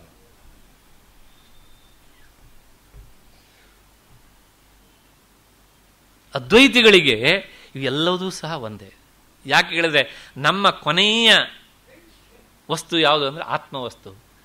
ಆ ಆತ್ಮವಸ್ತುವಿನ ಕಲ್ಪಿತವಾದಂಥ ಭೇದಗಳು ಇವು ಅಂತಾದ್ಮೇಲೆ ಅದು ಯಾವುದೂ ಹೆಚ್ಚಲ್ಲ, ಯಾವುದೂ ಕಡಿಮೆ ಅಲ್ಲ. ಇಷ್ಟು ಹಿನ್ನೆಲೆಯಲ್ಲಿ ಮತ್ತೆ ಅಷ್ಟೇ ಅಲ್ಲ, ಈ ದ್ವೈತ, ವಿಶಿಷ್ಟಾದ್ವೈತ, ಇದಕ್ಕೆ ಸಂಬಂಧಪಟ್ಟಂತಹ ಖಂಡನೆಯನ್ನು ಮಾಡಿದ್ದಾರೆ ಅವರು. ಈ ಆಚಾರ್ಯರುಗಳು ಮಾಡಿದಂಥ ತಪ್ಪು ಅಂತ ಕಂಡಂಥ ವಿಚಾರವನ್ನ ಖಂಡನೆ ಮಾಡಿದ್ರೆ ಹಿಂದೆ ಮುಂದೆ ನೋಡಲಿಲ್ಲ ಅವರು. ಏನು ಅಂದರೆ ಅವರು ಮಧ್ವತಂತ್ರ ಮುಖಮರ್ದನ ಅಂತ ಒಂದು ಗ್ರಂಥವನ್ನು ಬರೆದಿದ್ದಾರೆ. ಇಂತಿಂಥ ತಪ್ಪುಗಳಿಲ್ವೇ ಅಲ್ಲಿ ಅಂತ. ಅದನ್ನು ಸಹ ತೋರಿಸಿದ್ದಾರೆ. ಮತ್ತಷ್ಟೇ ಅಲ್ಲ, ರಾಮಾನುಜ ಶೃಂಗಭಂಗ ಎನ್ನುವಂಥ ಗ್ರಂಥವನ್ನು ಬರೆದಿದ್ದಾರೆ. ಅಂದ ಮಾತ್ರಕ್ಕೆ ಯಾಕೆ ಹೇಳಿದೆ ಅಂದ್ರೆ ಅವರು ವಿಷ್ಣು ದ್ವೇಷಗಳಲ್ಲ, ಏನು ತಪ್ಪಿದೆಯೋ ಅದನ್ನು ಹೇಳೋದಕ್ಕೆ ಹಿಂದೆ ಮುಂದೆ ನೋಡಲಿಲ್ಲ. ಅಂತಹ ಒಂದು ಅಸಾಧಾರಣವಾದಂತಹ ಪಾಂಡಿತ್ಯ ಇತ್ತು. ಇದರ ಜೊತೆಗೆ ಇನ್ನು ಶೈವ ಕ್ಷೇತ್ರಕ್ಕೆ ಸಂಬಂಧಪಟ್ಟ ಹಾಗೆ ಸುಮಾರು ಇಪ್ಪತ್ತು ಗ್ರಂಥಗಳನ್ನು ಅವರು ರಚನೆ ಮಾಡಿದ್ದಾರೆ. ಅವರೇ ಹೇಳ್ತಾರೆ, ನಮಗೆ ಈ ಎಲ್ಲ ಭೇದಗಳು ಸಹ ಕಲ್ಪಿತವಾದಂಥ ಭೇದಗಳಾದ್ದರಿಂದ ಒಬ್ಬ ಸಾಧಕನಿಗೆ, ಒಬ್ಬ ಭಕ್ತನಿಗೆ ಯಾವ ರೂಪ ಇಷ್ಟ ಆಗತ್ತೋ ಆ ರೂಪದಲ್ಲಿ ಭಗವಂತನನ್ನು ಕಾಣೋದಕ್ಕೆ ಅವಕಾಶ ಉಂಟು. ನನಗೆ ಈಶ್ವರ ಇಷ್ಟ ಆದ ಮಾತ್ರಕ್ಕೆ ನೀವು ಅದು ಇಷ್ಟ ಆಗಬಾರದು ನನಗೆ ಅಂತ ಹೇಳೋದಕ್ಕೆ ನೀವು ಯಾರು? ನಿಮಗೆ ವಿಷ್ಣು ಇಷ್ಟ ಆಗ್ತಾನೆ ಅಂತ ಆದ್ರೆ ನೀನು ವಿಷ್ಣುವನನ್ನು ಪ್ರೀತಿಸಬೇಡ ಅಂತ ಹೇಳೋದಕ್ಕೆ ನಾನು ಯಾರು? ಇದು ಒಬ್ಬ ಮನೆಯಿಂದ ಮನೆ ಅಥವಾ ಪರಂಪರೆಯಿಂದ ಪರಂಪರೆಯ ಪ್ರಶ್ನೆ ಅಲ್ಲ. ಒಂದೇ ಮನೆಯಲ್ಲಿ ಅಪ್ಪ ವಿಷ್ಣುವನನ್ನು ಆರಾಧನೆ ಮಾಡಿದರೆ ಮಗ ಶಿವನನ್ನು ಆರಾಧನೆ ಮಾಡಬಹುದು ಮತ್ತೆ ಅವನ ಮಗ ಬಂದವನು ವಿಷ್ಣುವನ್ನ ಆರಾಧನೆ ಮಾಡಬಹುದು ಯಾಕೆ ಹೇಳಿದ್ರೆ ನಮ್ಮ ನಮ್ಮ ಬುದ್ಧಿ ಭಗವಂತನ ಯಾವ ರೂಪವನ್ನ ಇಷ್ಟಪಡುತ್ತೋ ಆ ರೂಪದಲ್ಲಿ ನಾವು ಮಾಡ್ಬೋದು. ಈ ಮಾತನ್ನು ಸ್ವತಃ ಕೃಷ್ಣನೇ ಹೇಳಿದಾಗ ಆ ವೈಷ್ಣವ ಪರಂಪರೆಯವರು ಇದನ್ನ ಯಾಕೆ ಒಪ್ಕೊಳ್ಳೋದಿಲ್ಲ ಅಂತ ಪ್ರಶ್ನೆ ಅಷ್ಟೇ. ಯೋ ಯೋ ಯೋ ಯೋ ಯಾಮ್ಯಾಂ ತನುಂ ಭಕ್ತ ಶ್ರದ್ಧೆಯ ಅರ್ಚಿತುಮಿಚ್ಛತಿ. ಹಾಗಾಗಿ ಅಪ್ಪಯ್ಯ ದೀಕ್ಷಿತರು ಈ ಶೈವ ನಿಂದನೆಯನ್ನು ತಾಳಲಿಕ್ಕೆ ಆಗದ್ದೇ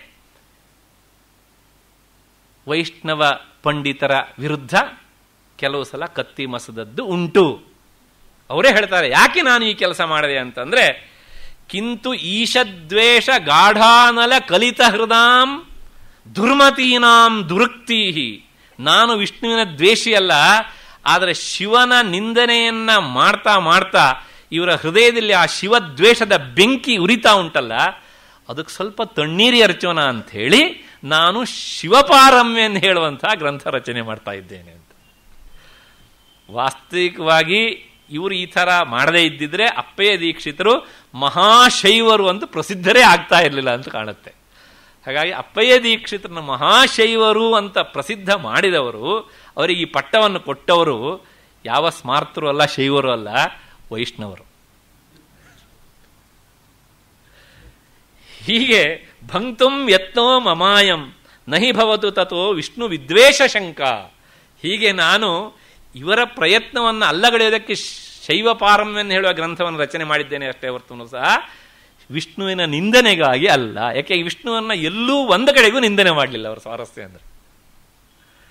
ಅದರಿಂದ ನನ್ನ ದ್ವೇಷ, ಇವರ ಈ ಅಲ್ಪ ಬುದ್ಧಿಯ ಮೇಲೇನೆ ಅಷ್ಟೇ ಹೊರತು ಸಹ ವಿಷ್ಣುವಿನ ಮೇಲೆ ಅಲ್ಲ. ಎನ್ನುವಂಥ ಮಾತನ್ನ ಅವರು ಬಹಳ ಸ್ಪಷ್ಟವಾಗಿ ಹೇಳ್ತಾರೆ.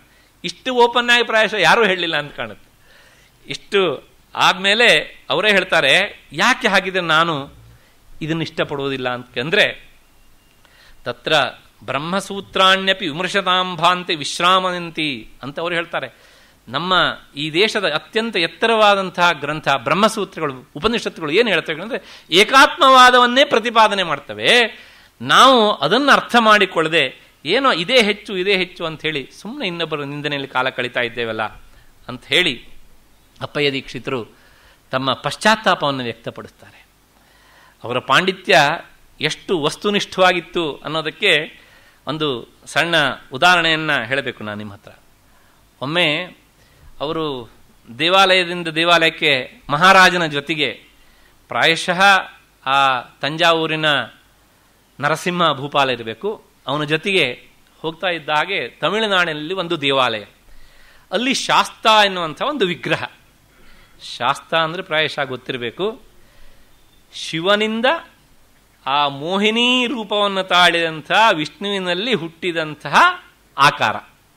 ವಸ್ತು. ಅವನ ಸಂತತಿ ಅಂತ ಹೇಳೋಣ. ಇವತ್ತು ಬೇರೆ ಬೇರೆ ಹೆಸರುಗಳೆಲ್ಲ ಬಂದಿವೆ. ಏನೋ ಅಯ್ಯಪ್ಪ ಅಂತೆಲ್ಲ ಏನೇನೆಲ್ಲ ಹೇಳ್ತಾರೆ. ಆದರೆ ಮೂಲ ಅದಕ್ಕೆ ಶಾಸ್ತ್ರ ಎನ್ನುವಂತಹ ಹೆಸರಿಗೆ ಅಂತ. ಹೀಗೆ ಪರಶಿವನಿಂದ ಹುಟ್ಟಿದವನು ಅನ್ನುವಂಥ ಆ ವಿಗ್ರಹ ಹೇಗಿತ್ತು ಅಂದರೆ ಬಹಳ ಆಲೋಚನೆ ಮಾಡುವ ಭಂಗಿಯಲ್ಲಿ ಹೀಗಿತ್ತಂತೆ ಅದು.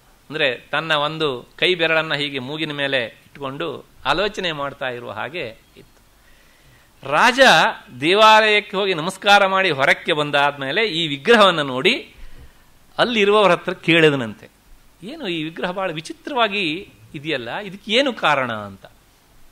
ಆಗ ಅಲ್ಲಿನ ಒಬ್ಬರು ಹಿಂದಿನ ಒಂದು ಪರಂಪರೆಯಿಂದ ಬಂದಂಥ ಒಂದು ವಿಚಾರವನ್ನ ಹೇಳಿದರು ರಾಜನಿಗೆ ಅಂತ. ಏನು ಅಂದರೆ,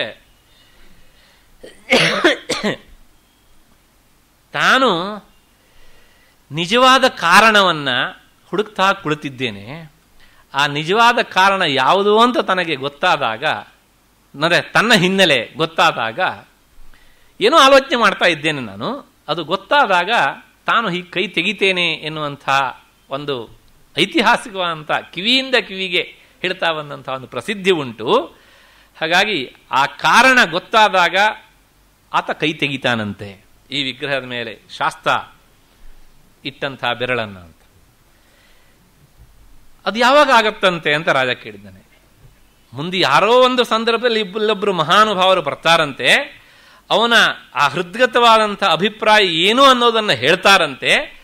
ಅದನ್ನು ಹೇಳಿದಾಗ ಆತ ಕೈ ತೆಗಿತಾನಂತೆ. ಆಗ ತಕ್ಷಣ ಈ ನರಸಿಂಹ ಭೂಪಾಲ ಪಕ್ಕದಲ್ಲಿರುವಂಥ ತಾತಾಚಾರ್ಯರು, ಅವರು ಸಹ ಜೊತೆಯಲ್ಲೇ ಇದ್ದರು ಅವರ ಹತ್ರ, ಏನು ಕಾರಣ? ಅಂತ ನೀವು ಹೇಳಿ ನೋಡೋಣ ಅಂತ. ಈ ಮಾತು ಹೇಳಬೇಕಿದ್ರೆ ರಾಜನಿಗೆ ಮಹಾನುಭಾವರು ಹೌದಾ ಅಲ್ವಾ ಎನ್ನುವಂಥ ಒಂದು ಟೆಸ್ಟು ಆಗಬೇಕು ಇವಾಗ. ಅನುಷ್ಠಾನ ಬಲ ಎಷ್ಟಿದೆ ಅನ್ನುವಂಥ ತೀರ್ಮಾನ ಆಗಬೇಕು. ಆಗ ಅವರು ಒಂದು ಮಾತನ್ನು ಹೇಳ್ತಾರೆ. ಶಾಸ್ತ್ರ ಯಾಕೆ ಹೀಗೆ ಕುಳಿತಿದ್ದಾನೆ ಅಂದರೆ ವಿಷ್ಣೋ ಸುತೋಹಂ. ನಾನು ವಿಷ್ಣುವಿನ ಮಗ. ಮೋಹಿನಿಯ ರೂಪದಿಂದ ನಾನು ಬಂದವನಾದ್ರಿಂದ ವಿಷ್ಣುವಿನ ಮಗ. ವಿಧಿನಾ ಸಮೋಹಂ. ನಾನು ಬ್ರಹ್ಮನಿಗೆ ಸಮಾನವಾಗಿದ್ದೇನೆ. ಏಕೆಂದರೆ ವಿಷ್ಣುವಿನ ಮಗನಾದ್ರಿಂದ ಆತ್ಮಾವೈ ಪುತ್ರನಾಮಾಸಿ. ಈ ವಿಷ್ಣು, ಬ್ರಹ್ಮ ಇವರೆಲ್ಲರೂ ಸಮಾನ ಕೆಟಗರಿಯಲ್ಲಿ ಬರೋದಾದ್ರಿಂದ ನಾನು ಬ್ರಹ್ಮನಿಗೆ ಸಮಾನವಾಗಿದ್ದೇನೆ. ಮತ್ತಷ್ಟೇ ಅಲ್ಲ, ಧನ್ಯ ತಥೋಹಂ ಸುರಸೇವಿತೋಹಂ. ಇದರಿಂದ ನನಗೆ ಸಾಕಷ್ಟು ಸಮಾಧಾನ ಉಂಟು. ನಾನು ವಿಷ್ಣುವಿನ ಮಗನಾಗಿ ಬ್ರಹ್ಮನ ಸಮಾನ ಸ್ತರದಲ್ಲಿ ನಾನಿದ್ದೇನೆ ಅಂತ. ಆದರೆ ಒಂದು ಬೇಸರ ಏನು ಕೇಳಿದರೆ, ತಥಾಪಿ ಭೂತೇಶ ಸುತೋಹಮೇತೈ ಭೂತೈ ಆವೃತ ಚಿಂತೆಯ ಚಿಂತಯತೀಹ ಶಾಸ್ತ. ಆದರೂ ಸಹ ನಾನು ಈಶ್ವರನ ಮಗ ಎನ್ನುವಂಥ ಒಂದು ಹಿನ್ನೆಲೆ ಇದ್ದಿದ್ದರಿಂದ, ಈ ಭೂತಗಣಗಳೆಲ್ಲ ನನ್ನನ್ನು ಆವರಿಸಿ ನಿಂತು ಬಿಟ್ಟಿವೆ. ಆದ್ರಿಂದ ಇದೊಂದು ನನಗೆ ಕೆಟ್ಟದ್ದಾಗ್ಬಿಡ್ತಲ್ಲಪ್ಪ ಇವ್ರ ಜೊತೆಗೆ ಇರಬೇಕಲ್ಲಪ್ಪ ಅಂತ ವಿಚಾರ ಮಾಡ್ತಾ ಇದ್ದೇನೆ ಅಂತ ಮೂಗಿನ ಮೇಲೆ ಕೈ ಇಟ್ಟಿದ್ದಾನೆ ಅಂತ. ಆದರೆ ಇವರು ಈ ಮಾತನ್ನು ಹೇಳಿದಾಗ ವಿಗ್ರಹದಲ್ಲಿ ಏನು ಬದಲಾವಣೆ ಆಗಲಿಲ್ಲ. ಅಂದ್ರೆ ಇದು ಕಾರಣ ಅಲ್ಲ. ಆಗ ಅಪ್ಪಯ್ಯ ದೀಕ್ಷಿತ್ರ ನೀವೇನು ಹೇಳ್ತೀರಿ? ಕಾರಣ ಏನಿರಬಹುದು ಅಂತ. ಆಗ ಅಪ್ಪಯ್ಯ ದೀಕ್ಷಿತರು, ಅವರೂ ಸಹ ಒಂದು ಶ್ಲೋಕವನ್ನು ತಕ್ಷಣ ಕಟ್ಟಿ ಹೇಳ್ತಾರೆ. ಏನು ಅಂದರೆ, ಅಂಬೇತಿ ಗೌರೀಂ ಅಹಂ ಆಹ್ವಯಾಮಿ ನಾನು ಗೌರಿಯನ್ನು ಅಮ್ಮ ಅಂತ ಕರಿತೇನೆ. ಯಾಕೆ ಕೇಳಿದರೆ ಮುಂದಿನ ಕಾರಣ, ಪತ್ನಿಯ ಪಿತು ಮಾತರ ಏವ ಸರ್ವಾಹ. ತಂದೆಗೆ ಎಷ್ಟು ಜನ ಹೆಂಡತಿಯರು ಇದ್ರೂ ಸಹ, ಯಾವ ಹೆಂಡತಿಯಲ್ಲಿ ಯಾವ ಮಗ ಹುಟ್ಟಿದರೂ ಆ ಮಗನಿಗೆ ಎಲ್ಲರೂ ಸಹ ತಾಯಂದಿರೆ. ಹಾಗಾಗಿ ಶಿವನ ಪತ್ನಿಯಾದಂಥ ಗೌರಿ ಶಿವನು ನನಗೆ ತಂದೆಯಾದದ್ದಿಂದಲೇ ಆಕೆ ತಾಯಿ. ಹಾಗೆ ನಾನು ಆಕೆಯನ್ನು ಅಮ್ಮ ಅಂತ ಕರೀತೇನೆ. ಆದರೆ ಪ್ರಶ್ನೆ ಅದಲ್ಲ, ಏನು ಕೇಳಿದ್ರೆ, ಕಥನ್ನು ಲಕ್ಷ್ಮೀಮಿತಿ ಚಿಂತೆಯಂತಂ. ಈಗ ಲಕ್ಷ್ಮಿಯನ್ನು ನಾನು ಏನಂತ ಕರಿಬೇಕು? ಚಿಕ್ಕಮ್ಮ ಅಂತ ಕರಿಬೇಕಿದ್ರೆ ತಾಯಿಯ ತಂಗಿ ಅಥವಾ ಅಕ್ಕ ಆದ್ರೆ ದೊಡ್ಡಮ್ಮ ಅಂತ ಕರಿಬೇಕು. ಆದ್ರೆ ಸ್ವಾರಸ್ಯ ಅಂದ್ರೆ ಮೋಹಿನಿ ವಿಷ್ಣುವಿನ ವಿಷ್ಣುವಿನ ರೂಪ, ಮೋಹಿನಿ ರೂಪದಲ್ಲಿ ಬಂದಿದ್ದಾದ್ರಿಂದ ಆ ಮೋಹಿನಿಯ ಹೆಂಡತಿ, ಅಂದ್ರೆ ಪತ್ನಿಯ ಪತ್ನಿ. ಹೆಂಡತಿಯ ಹೆಂಡತಿಯನ್ನು ಏನು ಕರಿಬೇಕ್ರಿ?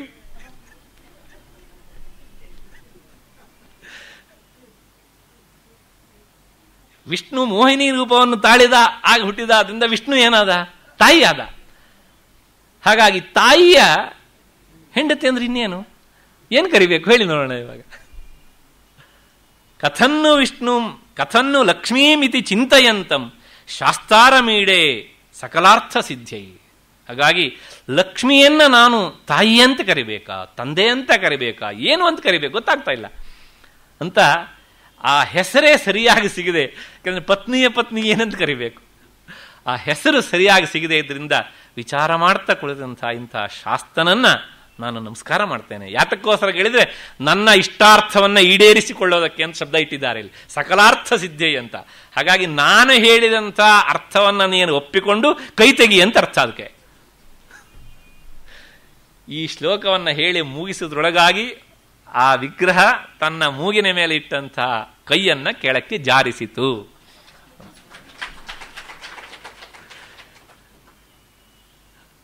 ಹೀಗೆ ಸಕಲಾರ್ಥ ಸಿದ್ಧ ಈ ಶಾಸ್ತಾರ ಮೀಡೆ ಅಂತ ಅವರು ಸ್ತುತಿ ಮಾಡಿದಾಗ, ಮೊದಲೇ ಅಸೂಯೆ, ಇನ್ನು ಮತ್ತೆ ಪ್ರಶ್ನೆನೇ ಇಲ್ಲ. ಆದರೆ ಈಗ ಚಿನ್ನ ಬೊಮ್ಮ ಬದಲಾವಣೆ ಆಗುವಂತಹ ಸ್ಥಿತಿಯಲ್ಲಿ ಇರಲಿಲ್ಲ. ಅವರ ಪಾಂಡಿತ್ಯ ಅಷ್ಟು ಲೋಕಮಾನ್ಯವಾಗಿತ್ತು. ಇಂಥ ದೀಕ್ಷಿತರು ಕೊನೆಗೆ ತಮ್ಮ ಬದುಕಿನ ಕೊನೆಯಲ್ಲಿ ಅವರು ಚಿದಂಬರ ಕ್ಷೇತ್ರಕ್ಕೆ ಹೋದರಂತೆ.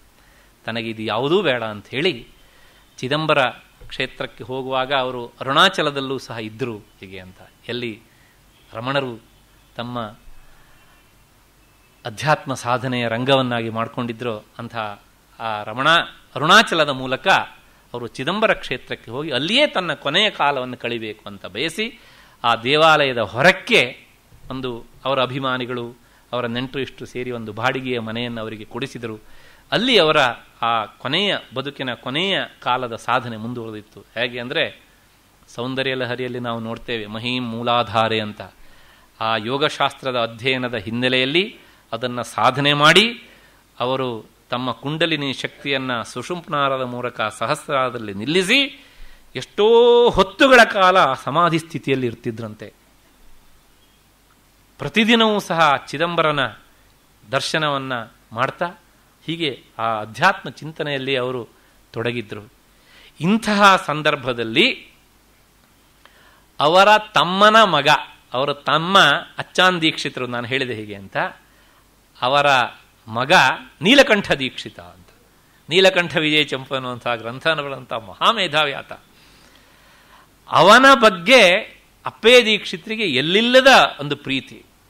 ಎಷ್ಟರ ಮಟ್ಟಿಗೆ ಅಂತ ಕೇಳಿದರೆ ಒಂದು ಸಲ ಆ ನೀಲಕಂಠ ದೀಕ್ಷಿತರಿಗೂ ಸಹ ತನ್ನ ಆಸ್ತಿಯಲ್ಲಿ ಹಕ್ಕನ್ನು ಕೊಡಬೇಕು ಅಂತ ಅಪ್ಪಯ್ಯ ದೀಕ್ಷಿತರು ಇಷ್ಟಪಟ್ಟಿದ್ರಂತೆ. ತನ್ನ ತಮ್ಮನ ಮೊಮ್ಮಗ ವಾಸ್ತವಿಕವಾಗಿ, ಇವರಿಗೂ ಸಹ ಮೊಮ್ಮಗನೇ ಆಗಬೇಕಲ್ಲ. ಅವನ ಒಳ್ಳೆಯತನಕ್ಕೆ ಅಷ್ಟು ಮಾರು ಹೋಗಿದ್ರು ಅಪ್ಪಯ್ಯ ದೀಕ್ಷಿತರು. ಆದರೆ ಕಾರಣಾಂತರದಿಂದ ಆಗಲಿಲ್ಲ ಅಂತ. ಕೊನೆಗೆ ಹೇಳಿದ್ರಂತೆ ಅವರು, ನೋಡು, ನನ್ನ ಈ ಭೌತಿಕ ಸಂಪತ್ತನ್ನಂತೂ ಕೊಡೋಕ್ಕಾಗಲ್ಲ, ನನ್ನ ಅಧ್ಯಾತ್ಮ ಸಂಪತ್ತನ್ನು ನಿನಗೆ ಕೊಡ್ತೇನೆ ಅಂತ. ಹೇಳಿ ನನ್ನ ಗ್ರಂಥರಾಶಿ ಇದೆ ಒಳಗಡೆಗೆ, ಹೋಗಿ ನಿನಗೆ ಇಷ್ಟ ಬಂದಂಥ ಎರಡು ಪುಸ್ತಕಗಳನ್ನೇ ತೆಗೆದುಕೊಂಡು ಬಾ ಅಂತ ಹೇಳಿದ್ರಂತೆ. ನೀಲಕಂಠ ದೀಕ್ಷಿತ ಇನ್ನು ಚಿಕ್ಕ ಹುಡುಗ ಆಗ. ಒಳಗಡೆ ಹೋಗಿ ಎರಡು ಪುಸ್ತಕ ತಂದ್ರಂತೆ ಅವರು. ತಂದದ್ದೇನು ಅಂದರೆ, ಒಂದು ದುರ್ಗಾ ಸಪ್ತಶತಿ, ಚಂಡೀ ಸಪ್ತಶತಿಯ ಪುಸ್ತಕ, ಇನ್ನೊಂದು ಕಾಳಿದಾಸನ ರಘುವಂಶ ಕಾವ್ಯ. ಆಗ ದೀಕ್ಷಿತ್ ಹೇಳದಂತೆ, ಈ ತಾಯಿಯ ಅನುಗ್ರಹದಿಂದ ಈ ಕೃತಿಯನ್ನು ಬರೆದಂಥ ಕವಿ ಹಾಗೆ ನೀನು ಕವಿ ಆಗು ಅಂತ. ಕಾಳಿದಾಸನಂತಹ ಕವಿಯಾಗು ನೀನು. ಯಾರಿಂದ ಕೇಳಿದರೆ ಈ ಶಕ್ತಿಯ ಅನುಗ್ರಹದಿಂದ ಅಂತ. ಅವನ ಅಕ್ಷರಶಃ ಮುಂದೆ ಹಾಗೆ ಆದ. ಯಾಕೆಂದರೆ ದೀಕ್ಷಿತರು ಮಹಾ ತಪಸ್ವಿಗಳಾದ್ರಿಂದ ಅವರ ಮಾತು ಮತ್ತೆ ಪುನಃ ಎರಡಾಗುವ ಸಾಧ್ಯತೆ ಇಲ್ಲ. ಆತ ನೀಲಕಂಠ ದೀಕ್ಷಿತ ಆ ದೀಕ್ಷಿತರ ಕೊನೆಯ ಕಾಲದಲ್ಲಿ ಅವರ ಹತ್ರ ಹೋದಾಗ ನನಗೆ, ನನ್ನ ಆಪ್ತರಿಗೆ ಎಲ್ಲರಿಗೂ ಸಹ ಹಿತವಾಗುವಂತಹ ಏನಾದರೂ ಒಂದು ಒಳ್ಳೆಯ ಮಾತನ್ನು ನಮಗೆ ಉಪದೇಶ ಮಾಡಿ ಅಂತ ಕೇಳಿದಾಗ ಅಲ್ಲಿ ದೀಕ್ಷಿತರು ಹೇಳುವಂಥ ಮಾತು ಬಹಳ ಮಾರ್ಮಿಕವಾದಂಥ ಮಾತು. ಏನು ಕೇಳಿದರೆ, ಚಿದಂಬರಮಿದಂಪುರಂ, ಈ ಚಿದಂಬರ ಪುರಂ, ಅದಕ್ಕೆ ಎರಡರ್ಥ ಮತ್ತು ಪುನಃ ಚಿದಂಬರಂ ಇದಂ ಪುರಂ ಚಿದಂಬರಂ. ಮತ್ತೆ ಚಿದಂಬರ ಕ್ಷೇತ್ರ. ಇದು ಪ್ರಥಿತಮೇವ ಪುಣ್ಯಸ್ಥಲಂ. ಇದು ಅತ್ಯಂತ ಪುಣ್ಯಸ್ಥಳ ಅಂತ ಪ್ರಸಿದ್ಧವಾಗಿದೆ. ಇಲ್ಲಾದರೆ ಅನುಷ್ಠಾನ, ಸಾಧನೆ ಮಾಡಿ ಮಾಡಿ ಮಾಡಿ ಇದೀಗ ಪ್ರಥಿತಮೇವ ಪ್ರಸಿದ್ಧವಾಗಿದೆ ಅಂತ. ಅಷ್ಟೇ ಅಲ್ಲ, ಸುತಾಶ್ಚ ವಿನಯೋಜ್ವಲ. ನನ್ನ ಮಕ್ಕಳು, ಮೊಮ್ಮಕ್ಕಳು ಎಲ್ಲರೂ ಸಹ ಉತ್ತಮವಾಗಿ ಬದುಕ್ತಾ ಇದ್ದಾರೆ, ವಿನಯವಂತರಾಗ್ತಾ ಇದ್ದಾರೆ. ಸುಕೃತಯಶ್ಚ ಕಾಶ್ಚಿತ್ ಕೃತ ಅಷ್ಟೋ ಇಷ್ಟೋ ಕೆಲವು ಒಳ್ಳೆಯ ಗ್ರಂಥಗಳನ್ನು ಕೊಟ್ಟಿದ್ದೇನೆ ಅಂತಾರೆ. ಕೊಟ್ಟಿದ್ದು ನೂರ ನಾಲ್ಕು, ಅಷ್ಟೋ ಇಷ್ಟೋ ಅಂತ, ಕಾಶ್ಚಿತ್ ಕೆಲವು ಅಂತ. ಆ ದೊಡ್ಡವರ ಎಂದಿದ್ರೂ ಸಹ ಅವರು ದೊಡ್ಡವರಾಗೇ ಇರ್ತಾರೆ ಅಂತ ಇಂಥ ಮಾತುಗಳೆಲ್ಲ ನಮಗೆ ಸ್ಪಷ್ಟ ನಿದರ್ಶನವಾಗಿ ನಿಲ್ತವೆ. ವಯಸ್ಸಿ ಮಮ ಸಪ್ತತೆಯ ಉಪರಿ ನೈವ ಭೋಗೇ ಸ್ಪೃಹ. ನನಗೆ ವಯಸ್ಸು ಎಪ್ಪತ್ತು ದಾಟಿದೆ, ಈಗ ನನಗೆ ಭೌತಿಕವಾದಂಥ ಯಾವ ಅಭಿಲಾಷೆಗಳೂ ಇಲ್ಲ. ಹಾಗಾಗಿ ನಕಿಂಚಿದಹಮರ್ಥಯೇ ಶಿವಪದಂ ದಿದೃಕ್ಷೇ ಪರಂ. ನನಗೆ ಯಾವುದೂ ಬೇಡ. ನನಗೆ ಬೇಕಾದದ್ದು ಕೇವಲ ಆ ಪರಮೇಶ್ವರನ ಪಾದವನ್ನು ನೋಡಬೇಕು ಅನ್ನುವಂಥ ಬಯಕೆ ಅಂತ. ಈ ಮಾತನ್ನು ಹೇಳ್ತಾ ಹೇಳ್ತಾ ಇದ್ದಾಗಲೇ ಅವರ ಪ್ರಾಣೋತ್ಕ್ರಮಣ ಆಯಿತು. ಅದಕ್ಕೂ ಮುನ್ನ ಈ ಮಾತನ್ನು ಹೇಳ್ತಾ ಹೇಳ್ತಾ ಇದ್ದಾಗ ನಾನು ನೋಡಬೇಕು ಅಂತ ಹೇಳಿದಾಗ ಪರಮೇಶ್ವರ ಅವರಿಗೆ ದರ್ಶನ ಕೊಟ್ಟ ಅಂತ ವಿಮರ್ಶಕರು ಬರೀತಾರೆ. ಅವರೇ ಹೇಳ್ತಾರೆ ಏನು ಕೇಳಿ, ತಕ್ಷಣ ಮುಂದಿನ ಮಾತು. ಆಭಾತಿ ಹಾಟಕ ಸಭಾ ನಟಪಾದ ಪದ್ಮ ಜ್ಯೋತಿರ್ಮಯ ಮನಸಿ ಮೇ ತರುಣಾರುಣೋಯಂ. ನನಗೆ ಉತ್ತಮವಾದಂಥ ಸಭೆಯಲ್ಲಿ ಆ ಬಂಗಾರದ ಸಿಂಹಾಸನದಲ್ಲಿ ಕುಳಿದಂಥ ಪರಮೇಶ್ವರನ ಪಾದ ಕಾಣಿಸ್ತಾ ಉಂಟು. ಆಹಾ, ಎಷ್ಟು ಆನಂದಮಯ ಉಂಟು ಕೇಳಿದರೆ, ಅರುಣಾರುಣೋಯಂ ಅಂತ. ಉದಯವಾಗ್ತಾ ಇರೋಂಥ ಸೂರ್ಯನ ಹಾಗೆ ಉಂಟು. ಆದರೆ ಆ ಸೂರ್ಯ ನನ್ನ ಕಣ್ಣನ್ನು ಕುಕ್ತಾ ಇಲ್ಲ. ನಾನು ಕಾಣ್ತಾ ಇದ್ದೇನೆ ಕಾಣ್ತಾ ಇದ್ದೇನೆ ಕಾಣ್ತಾ ಇದ್ದೇನೆ ಅಂತ ಹೇಳ್ತಾ ಅವರು ಪ್ರಾಣ ಬಿಟ್ಟರು ಅಂತ ವಸಂತ ತಿಲಕ ಆ ಛಂದಸ್ಸಿನಲ್ಲಿ ಉಂಟದು. ಆನಂದಕ್ಕಾಗಿ ಹೇಳುವಂತಹದ್ದು. ಮರಣದ ಸಂದರ್ಭದಲ್ಲಿ ಆ ಛಂದಸ್ಸನ್ನು ಬಳಸಿದ್ದಾರೆ ಅಂದರೆ ಎಷ್ಟು ಆನಂದದ ಕ್ಷಣ ಆಗಿರಬೇಕು ಅವರಿಗೆ ಹೀಗೆ ಅಂತ. ಆದರೆ ಏನಿದ್ರು ಅಜ್ಜ ಶ್ಲೋಕವನ್ನು ಅರ್ಧಕ್ಕೆ ನಿಲ್ಲಿಸಲಿಲ್ಲ ಅಂತೇಳಿ ತಕ್ಷಣ ನೀಲಕಂಠ ದೀಕ್ಷಿತ ಅದನ್ನು ಮುಂದುವರೆಸಿದ್ದು. ಬಹಳ ಅದ್ಭುತವಾದಂತಹ ಕಲ್ಪನೆ ಇವೆಲ್ಲ. ಏನು ಅಂದರೆ ಅವರು ಹೇಳಿದಂಥ ಮಾತು, ನೂನಂ ಜರಾಮರಣ ಘೋರ ಪಿಶಾಚ ಕೀರ್ಣ ಸಂಸಾರ ಮೋಹ ರಜನಿ ವಿರತಿಂ ಪ್ರಯಾತ. ನನ್ನ ಅಜ್ಜನಿಗೆ ಪ್ರಾಯಶಃ ಇನ್ನು ಜನ್ಮ ಇಲ್ಲ ಅಂತ ಹೇಳಿದ್ರಾತ. ಜರಾಮರಣ ಘೋರ ಪಿಶಾಚ ಕೀರ್ಣಂ. ಈ ಹುಟ್ಟು ಸಾವು ಎನ್ನುವಂಥ ಘೋರ ಪಿಶಾಚಿಗಳು, ಅಂದರೆ ಪಿಶಾಚನ ಹಿಂಸೆ ಕೊಡುವಂಥದ್ದು ಅಂತ. ಈ ಎಲ್ಲವುಗಳಿಂದ ತುಂಬಿದಂಥ ಸಂಸಾರ ಮೋಹ ರಜನಿ, ಸಂಸಾರ ಮೋಹ ಎನ್ನುವಂಥ ಕತ್ತಲು ವಿರತಿಂ ಪ್ರಯಾತ. ಅದು ನಾಶವಾಗಿ ಹೋಯಿತು. ನಮ್ಮ ಅಜ್ಜ ಸದಾ ಬೆಳಕನ್ನು ನೋಡ್ತಾ ನೋಡ್ತಾ ನೋಡ್ತಾ ಹೋದರು ಹೀಗೆ ಅಂತ ಹೇಳಿ ಆ ಶ್ಲೋಕವನ್ನು ನೀಲಕಂಠ ದೀಕ್ಷಿತರು ಪೂರ್ತಿ ಮಾಡಿದ್ರು ಹೀಗೆ ಅಂತ. ಅಂದರೆ ಆ ಅಪ್ಪಯ್ಯ ದೀಕ್ಷಿತರ ಆಶೀರ್ವಾದ ಅದು ಹೇಗೆ ಮುಂದುವರಿಯಿತು ಅಂದರೆ ಆ ಮರುಕ್ಷಣದಲ್ಲಿಯೇ ಅದು ಮುಂದುವರಿಲಿಕ್ಕೆ ಪ್ರಾರಂಭ ಆಯಿತು ಹೀಗೆ ಅಂತ. ಮುಂದೆ ನೀಲಕಂಠ ದೀಕ್ಷಿತರು ವಿಜಯನಗರ ಸಾಮ್ರಾಜ್ಯ ತಿರುಮಲ ನಾಯಕನ ಆಸ್ಥಾನದಲ್ಲಿ ನಲವತ್ತು ವರ್ಷಗಳ ಕಾಲ ಆಸ್ಥಾನ ಕವಿಗಳಾಗಿ ಅವರಿದ್ದರು. ಮತ್ತೆ ಮುಂದಿನ ಪರಂಪರೆ ತುದಿಯನ್ನು ಸಹ ನಾವು ನೋಡಿದ್ದೇವೆ. ಎಂಥ ಪರಂಪರೆ ಹೀಗೆ ಅಂತ. ಅಷ್ಟೇ ಅಲ್ಲ, ಇಲ್ಲಿ ಅಪ್ಪಯ್ಯ ದೀಕ್ಷಿತರು ದೇಹವನ್ನು ಬಿಟ್ಟಾಗ ಚಿದಂಬರ ಕ್ಷೇತ್ರದಲ್ಲಿ, ದೇವಾಲಯದಲ್ಲಿ ಏನಾಯಿತು ಅಂದರೆ ಪ್ರತಿದಿನೂ ಇವರು ದೇವರ ದರ್ಶನಕ್ಕೆ ಹೋಗ್ತಿದ್ರಲ್ಲ, ಒಂದು ಅಪ್ಪಯ್ಯ ದೀಕ್ಷಿತರ ಒಂದು ಪ್ರತಿಬಿಂಬದ ರೂಪ ಹಾಗೇ ದೇವಾಲಯದ ಒಳಗೆ ಹೋಗ್ತಾ ಇತ್ತಂತೆ. ಅಲ್ಲಿನ ಅರ್ಚಕರು ದಿನವೂ ಅಪ್ಪೆಯ ದೀಕ್ಷಿತರ ದರ್ಶನಕ್ಕೆ ಬರುವ ಹಾಗೆ ಇವತ್ತು ಬರ್ತಾ ಇದ್ದಾರೆ ಅಂತ ಹೇಳಿ ನೀರಾಜನದ ಸಿದ್ಧತೆಯನ್ನು ಮಾಡ್ತಾ ಇದ್ದಾಗ ಆ ಆಕಾರ ದೇವಾಲಯದ ಐದು ಮೆಟ್ಟಲುಗಳನ್ನು ಸಹ, ಪಂಚಾಕ್ಷರಿ ಮಂತ್ರದ ಸಂಕೇತವಾದಂಥ ಐದು ಮೆಟ್ಟಲುಗಳನ್ನು ಏರಿಕೊಂಡು ಬಂದು ಗರ್ಭಗೃಹದಲ್ಲಿ, ಆ ಶಿವನ ವಿಗ್ರಹದಲ್ಲಿ ಲೀನವಾಯಿತು. ಇದು ಅಪ್ಪಯ್ಯ ದೀಕ್ಷಿತರು ಆ ಕೊನೆಯ ಸಂದರ್ಭ ಹೀಗಿತ್ತು ಎನ್ನುವಂಥ ಮಾತನ್ನ ಇತಿಹಾಸಕಾರರು ನಮಗೆ ಒದಗಿಸಿಕೊಡ್ತಾರೆ. ಇದು ಅಪ್ಪಯ್ಯ ದೀಕ್ಷಿತರು ಬಯಸಿದ್ದು ಅವರು ಅದನ್ನು ಹಾಗೇನೆ ಪಡೆದರು. ಅಂದರೆ ಆ ಸಾಧನೆಯ ಪರಂಪರೆ ನಾವು ನೋಡ್ತಾ ಬಂದಿದ್ದೇವೆ. ಕೊನೆಯ ತಲೆಮಾರಿನರಿಗೂ ನಾವು ನೋಡ್ತಾ ಇದ್ದೇವೆ ಅಂತ. ಶಿವನ ಅನುಗ್ರಹ ಇಲ್ಲದೆ ಇದ್ದರೆ ಅದಾಗ್ಲಿಕ್ಕೆ ಸಾಧ್ಯ ಇಲ್ಲ. ಯಾಕೆ ಹೇಳಿದರೆ ಈಶಾನ ಸರ್ವ ವಿದ್ಯಾನಾಂ ಈಶ್ವರ ಸರ್ವಭೂತಾನಾಂ. ಎನ್ನುವಂಥ ಹಿನ್ನೆಲೆಯಲ್ಲಿ ಆ ಪರಶಿವನ ಅನುಗ್ರಹದಿಂದ ಅಪ್ಪಯ್ಯ ದೀಕ್ಷಿತರು ಇತಿಹಾಸ ಮರೆತಿರಬಹುದು, ಆದರೆ ಶಾಸ್ತ್ರಕಾರರು, ಅಧ್ಯಯನಶೀಲರು ಅವರನ್ನು ಮರೆಯೋದಕ್ಕೆ ಸಾಧ್ಯ ಇಲ್ಲ ಎನ್ನುವಂಥ ಹಿನ್ನೆಲೆಯಲ್ಲಿ ಈವರೆಗೆ ನನ್ನೆಲ್ಲ ಮಾತನ್ನು ಸಹ ಆ ಶಿವಾವತಾರಿಗಳಾದಂಥ ಅಪ್ಪಯ್ಯ ದೀಕ್ಷಿತರ ಪದತಲದಲ್ಲಿ ಸಮರ್ಪಿಸಿ ನಾಳೆ ಆರೂವರೆಗೆ ಸೇರೋಣ, ಆತ್ಮಾರ್ಪಣ ಸ್ತುತಿಯನ್ನು ನೋಡೋಣ ಎನ್ನುವಂಥ ಮಾತನ್ನು ಹೇಳ್ತಾ ನನ್ನ ಮಾತನ್ನು ಮುಕ್ತಾಯ ಮಾಡ್ತೇನೆ. ನಮಸ್ಕಾರ.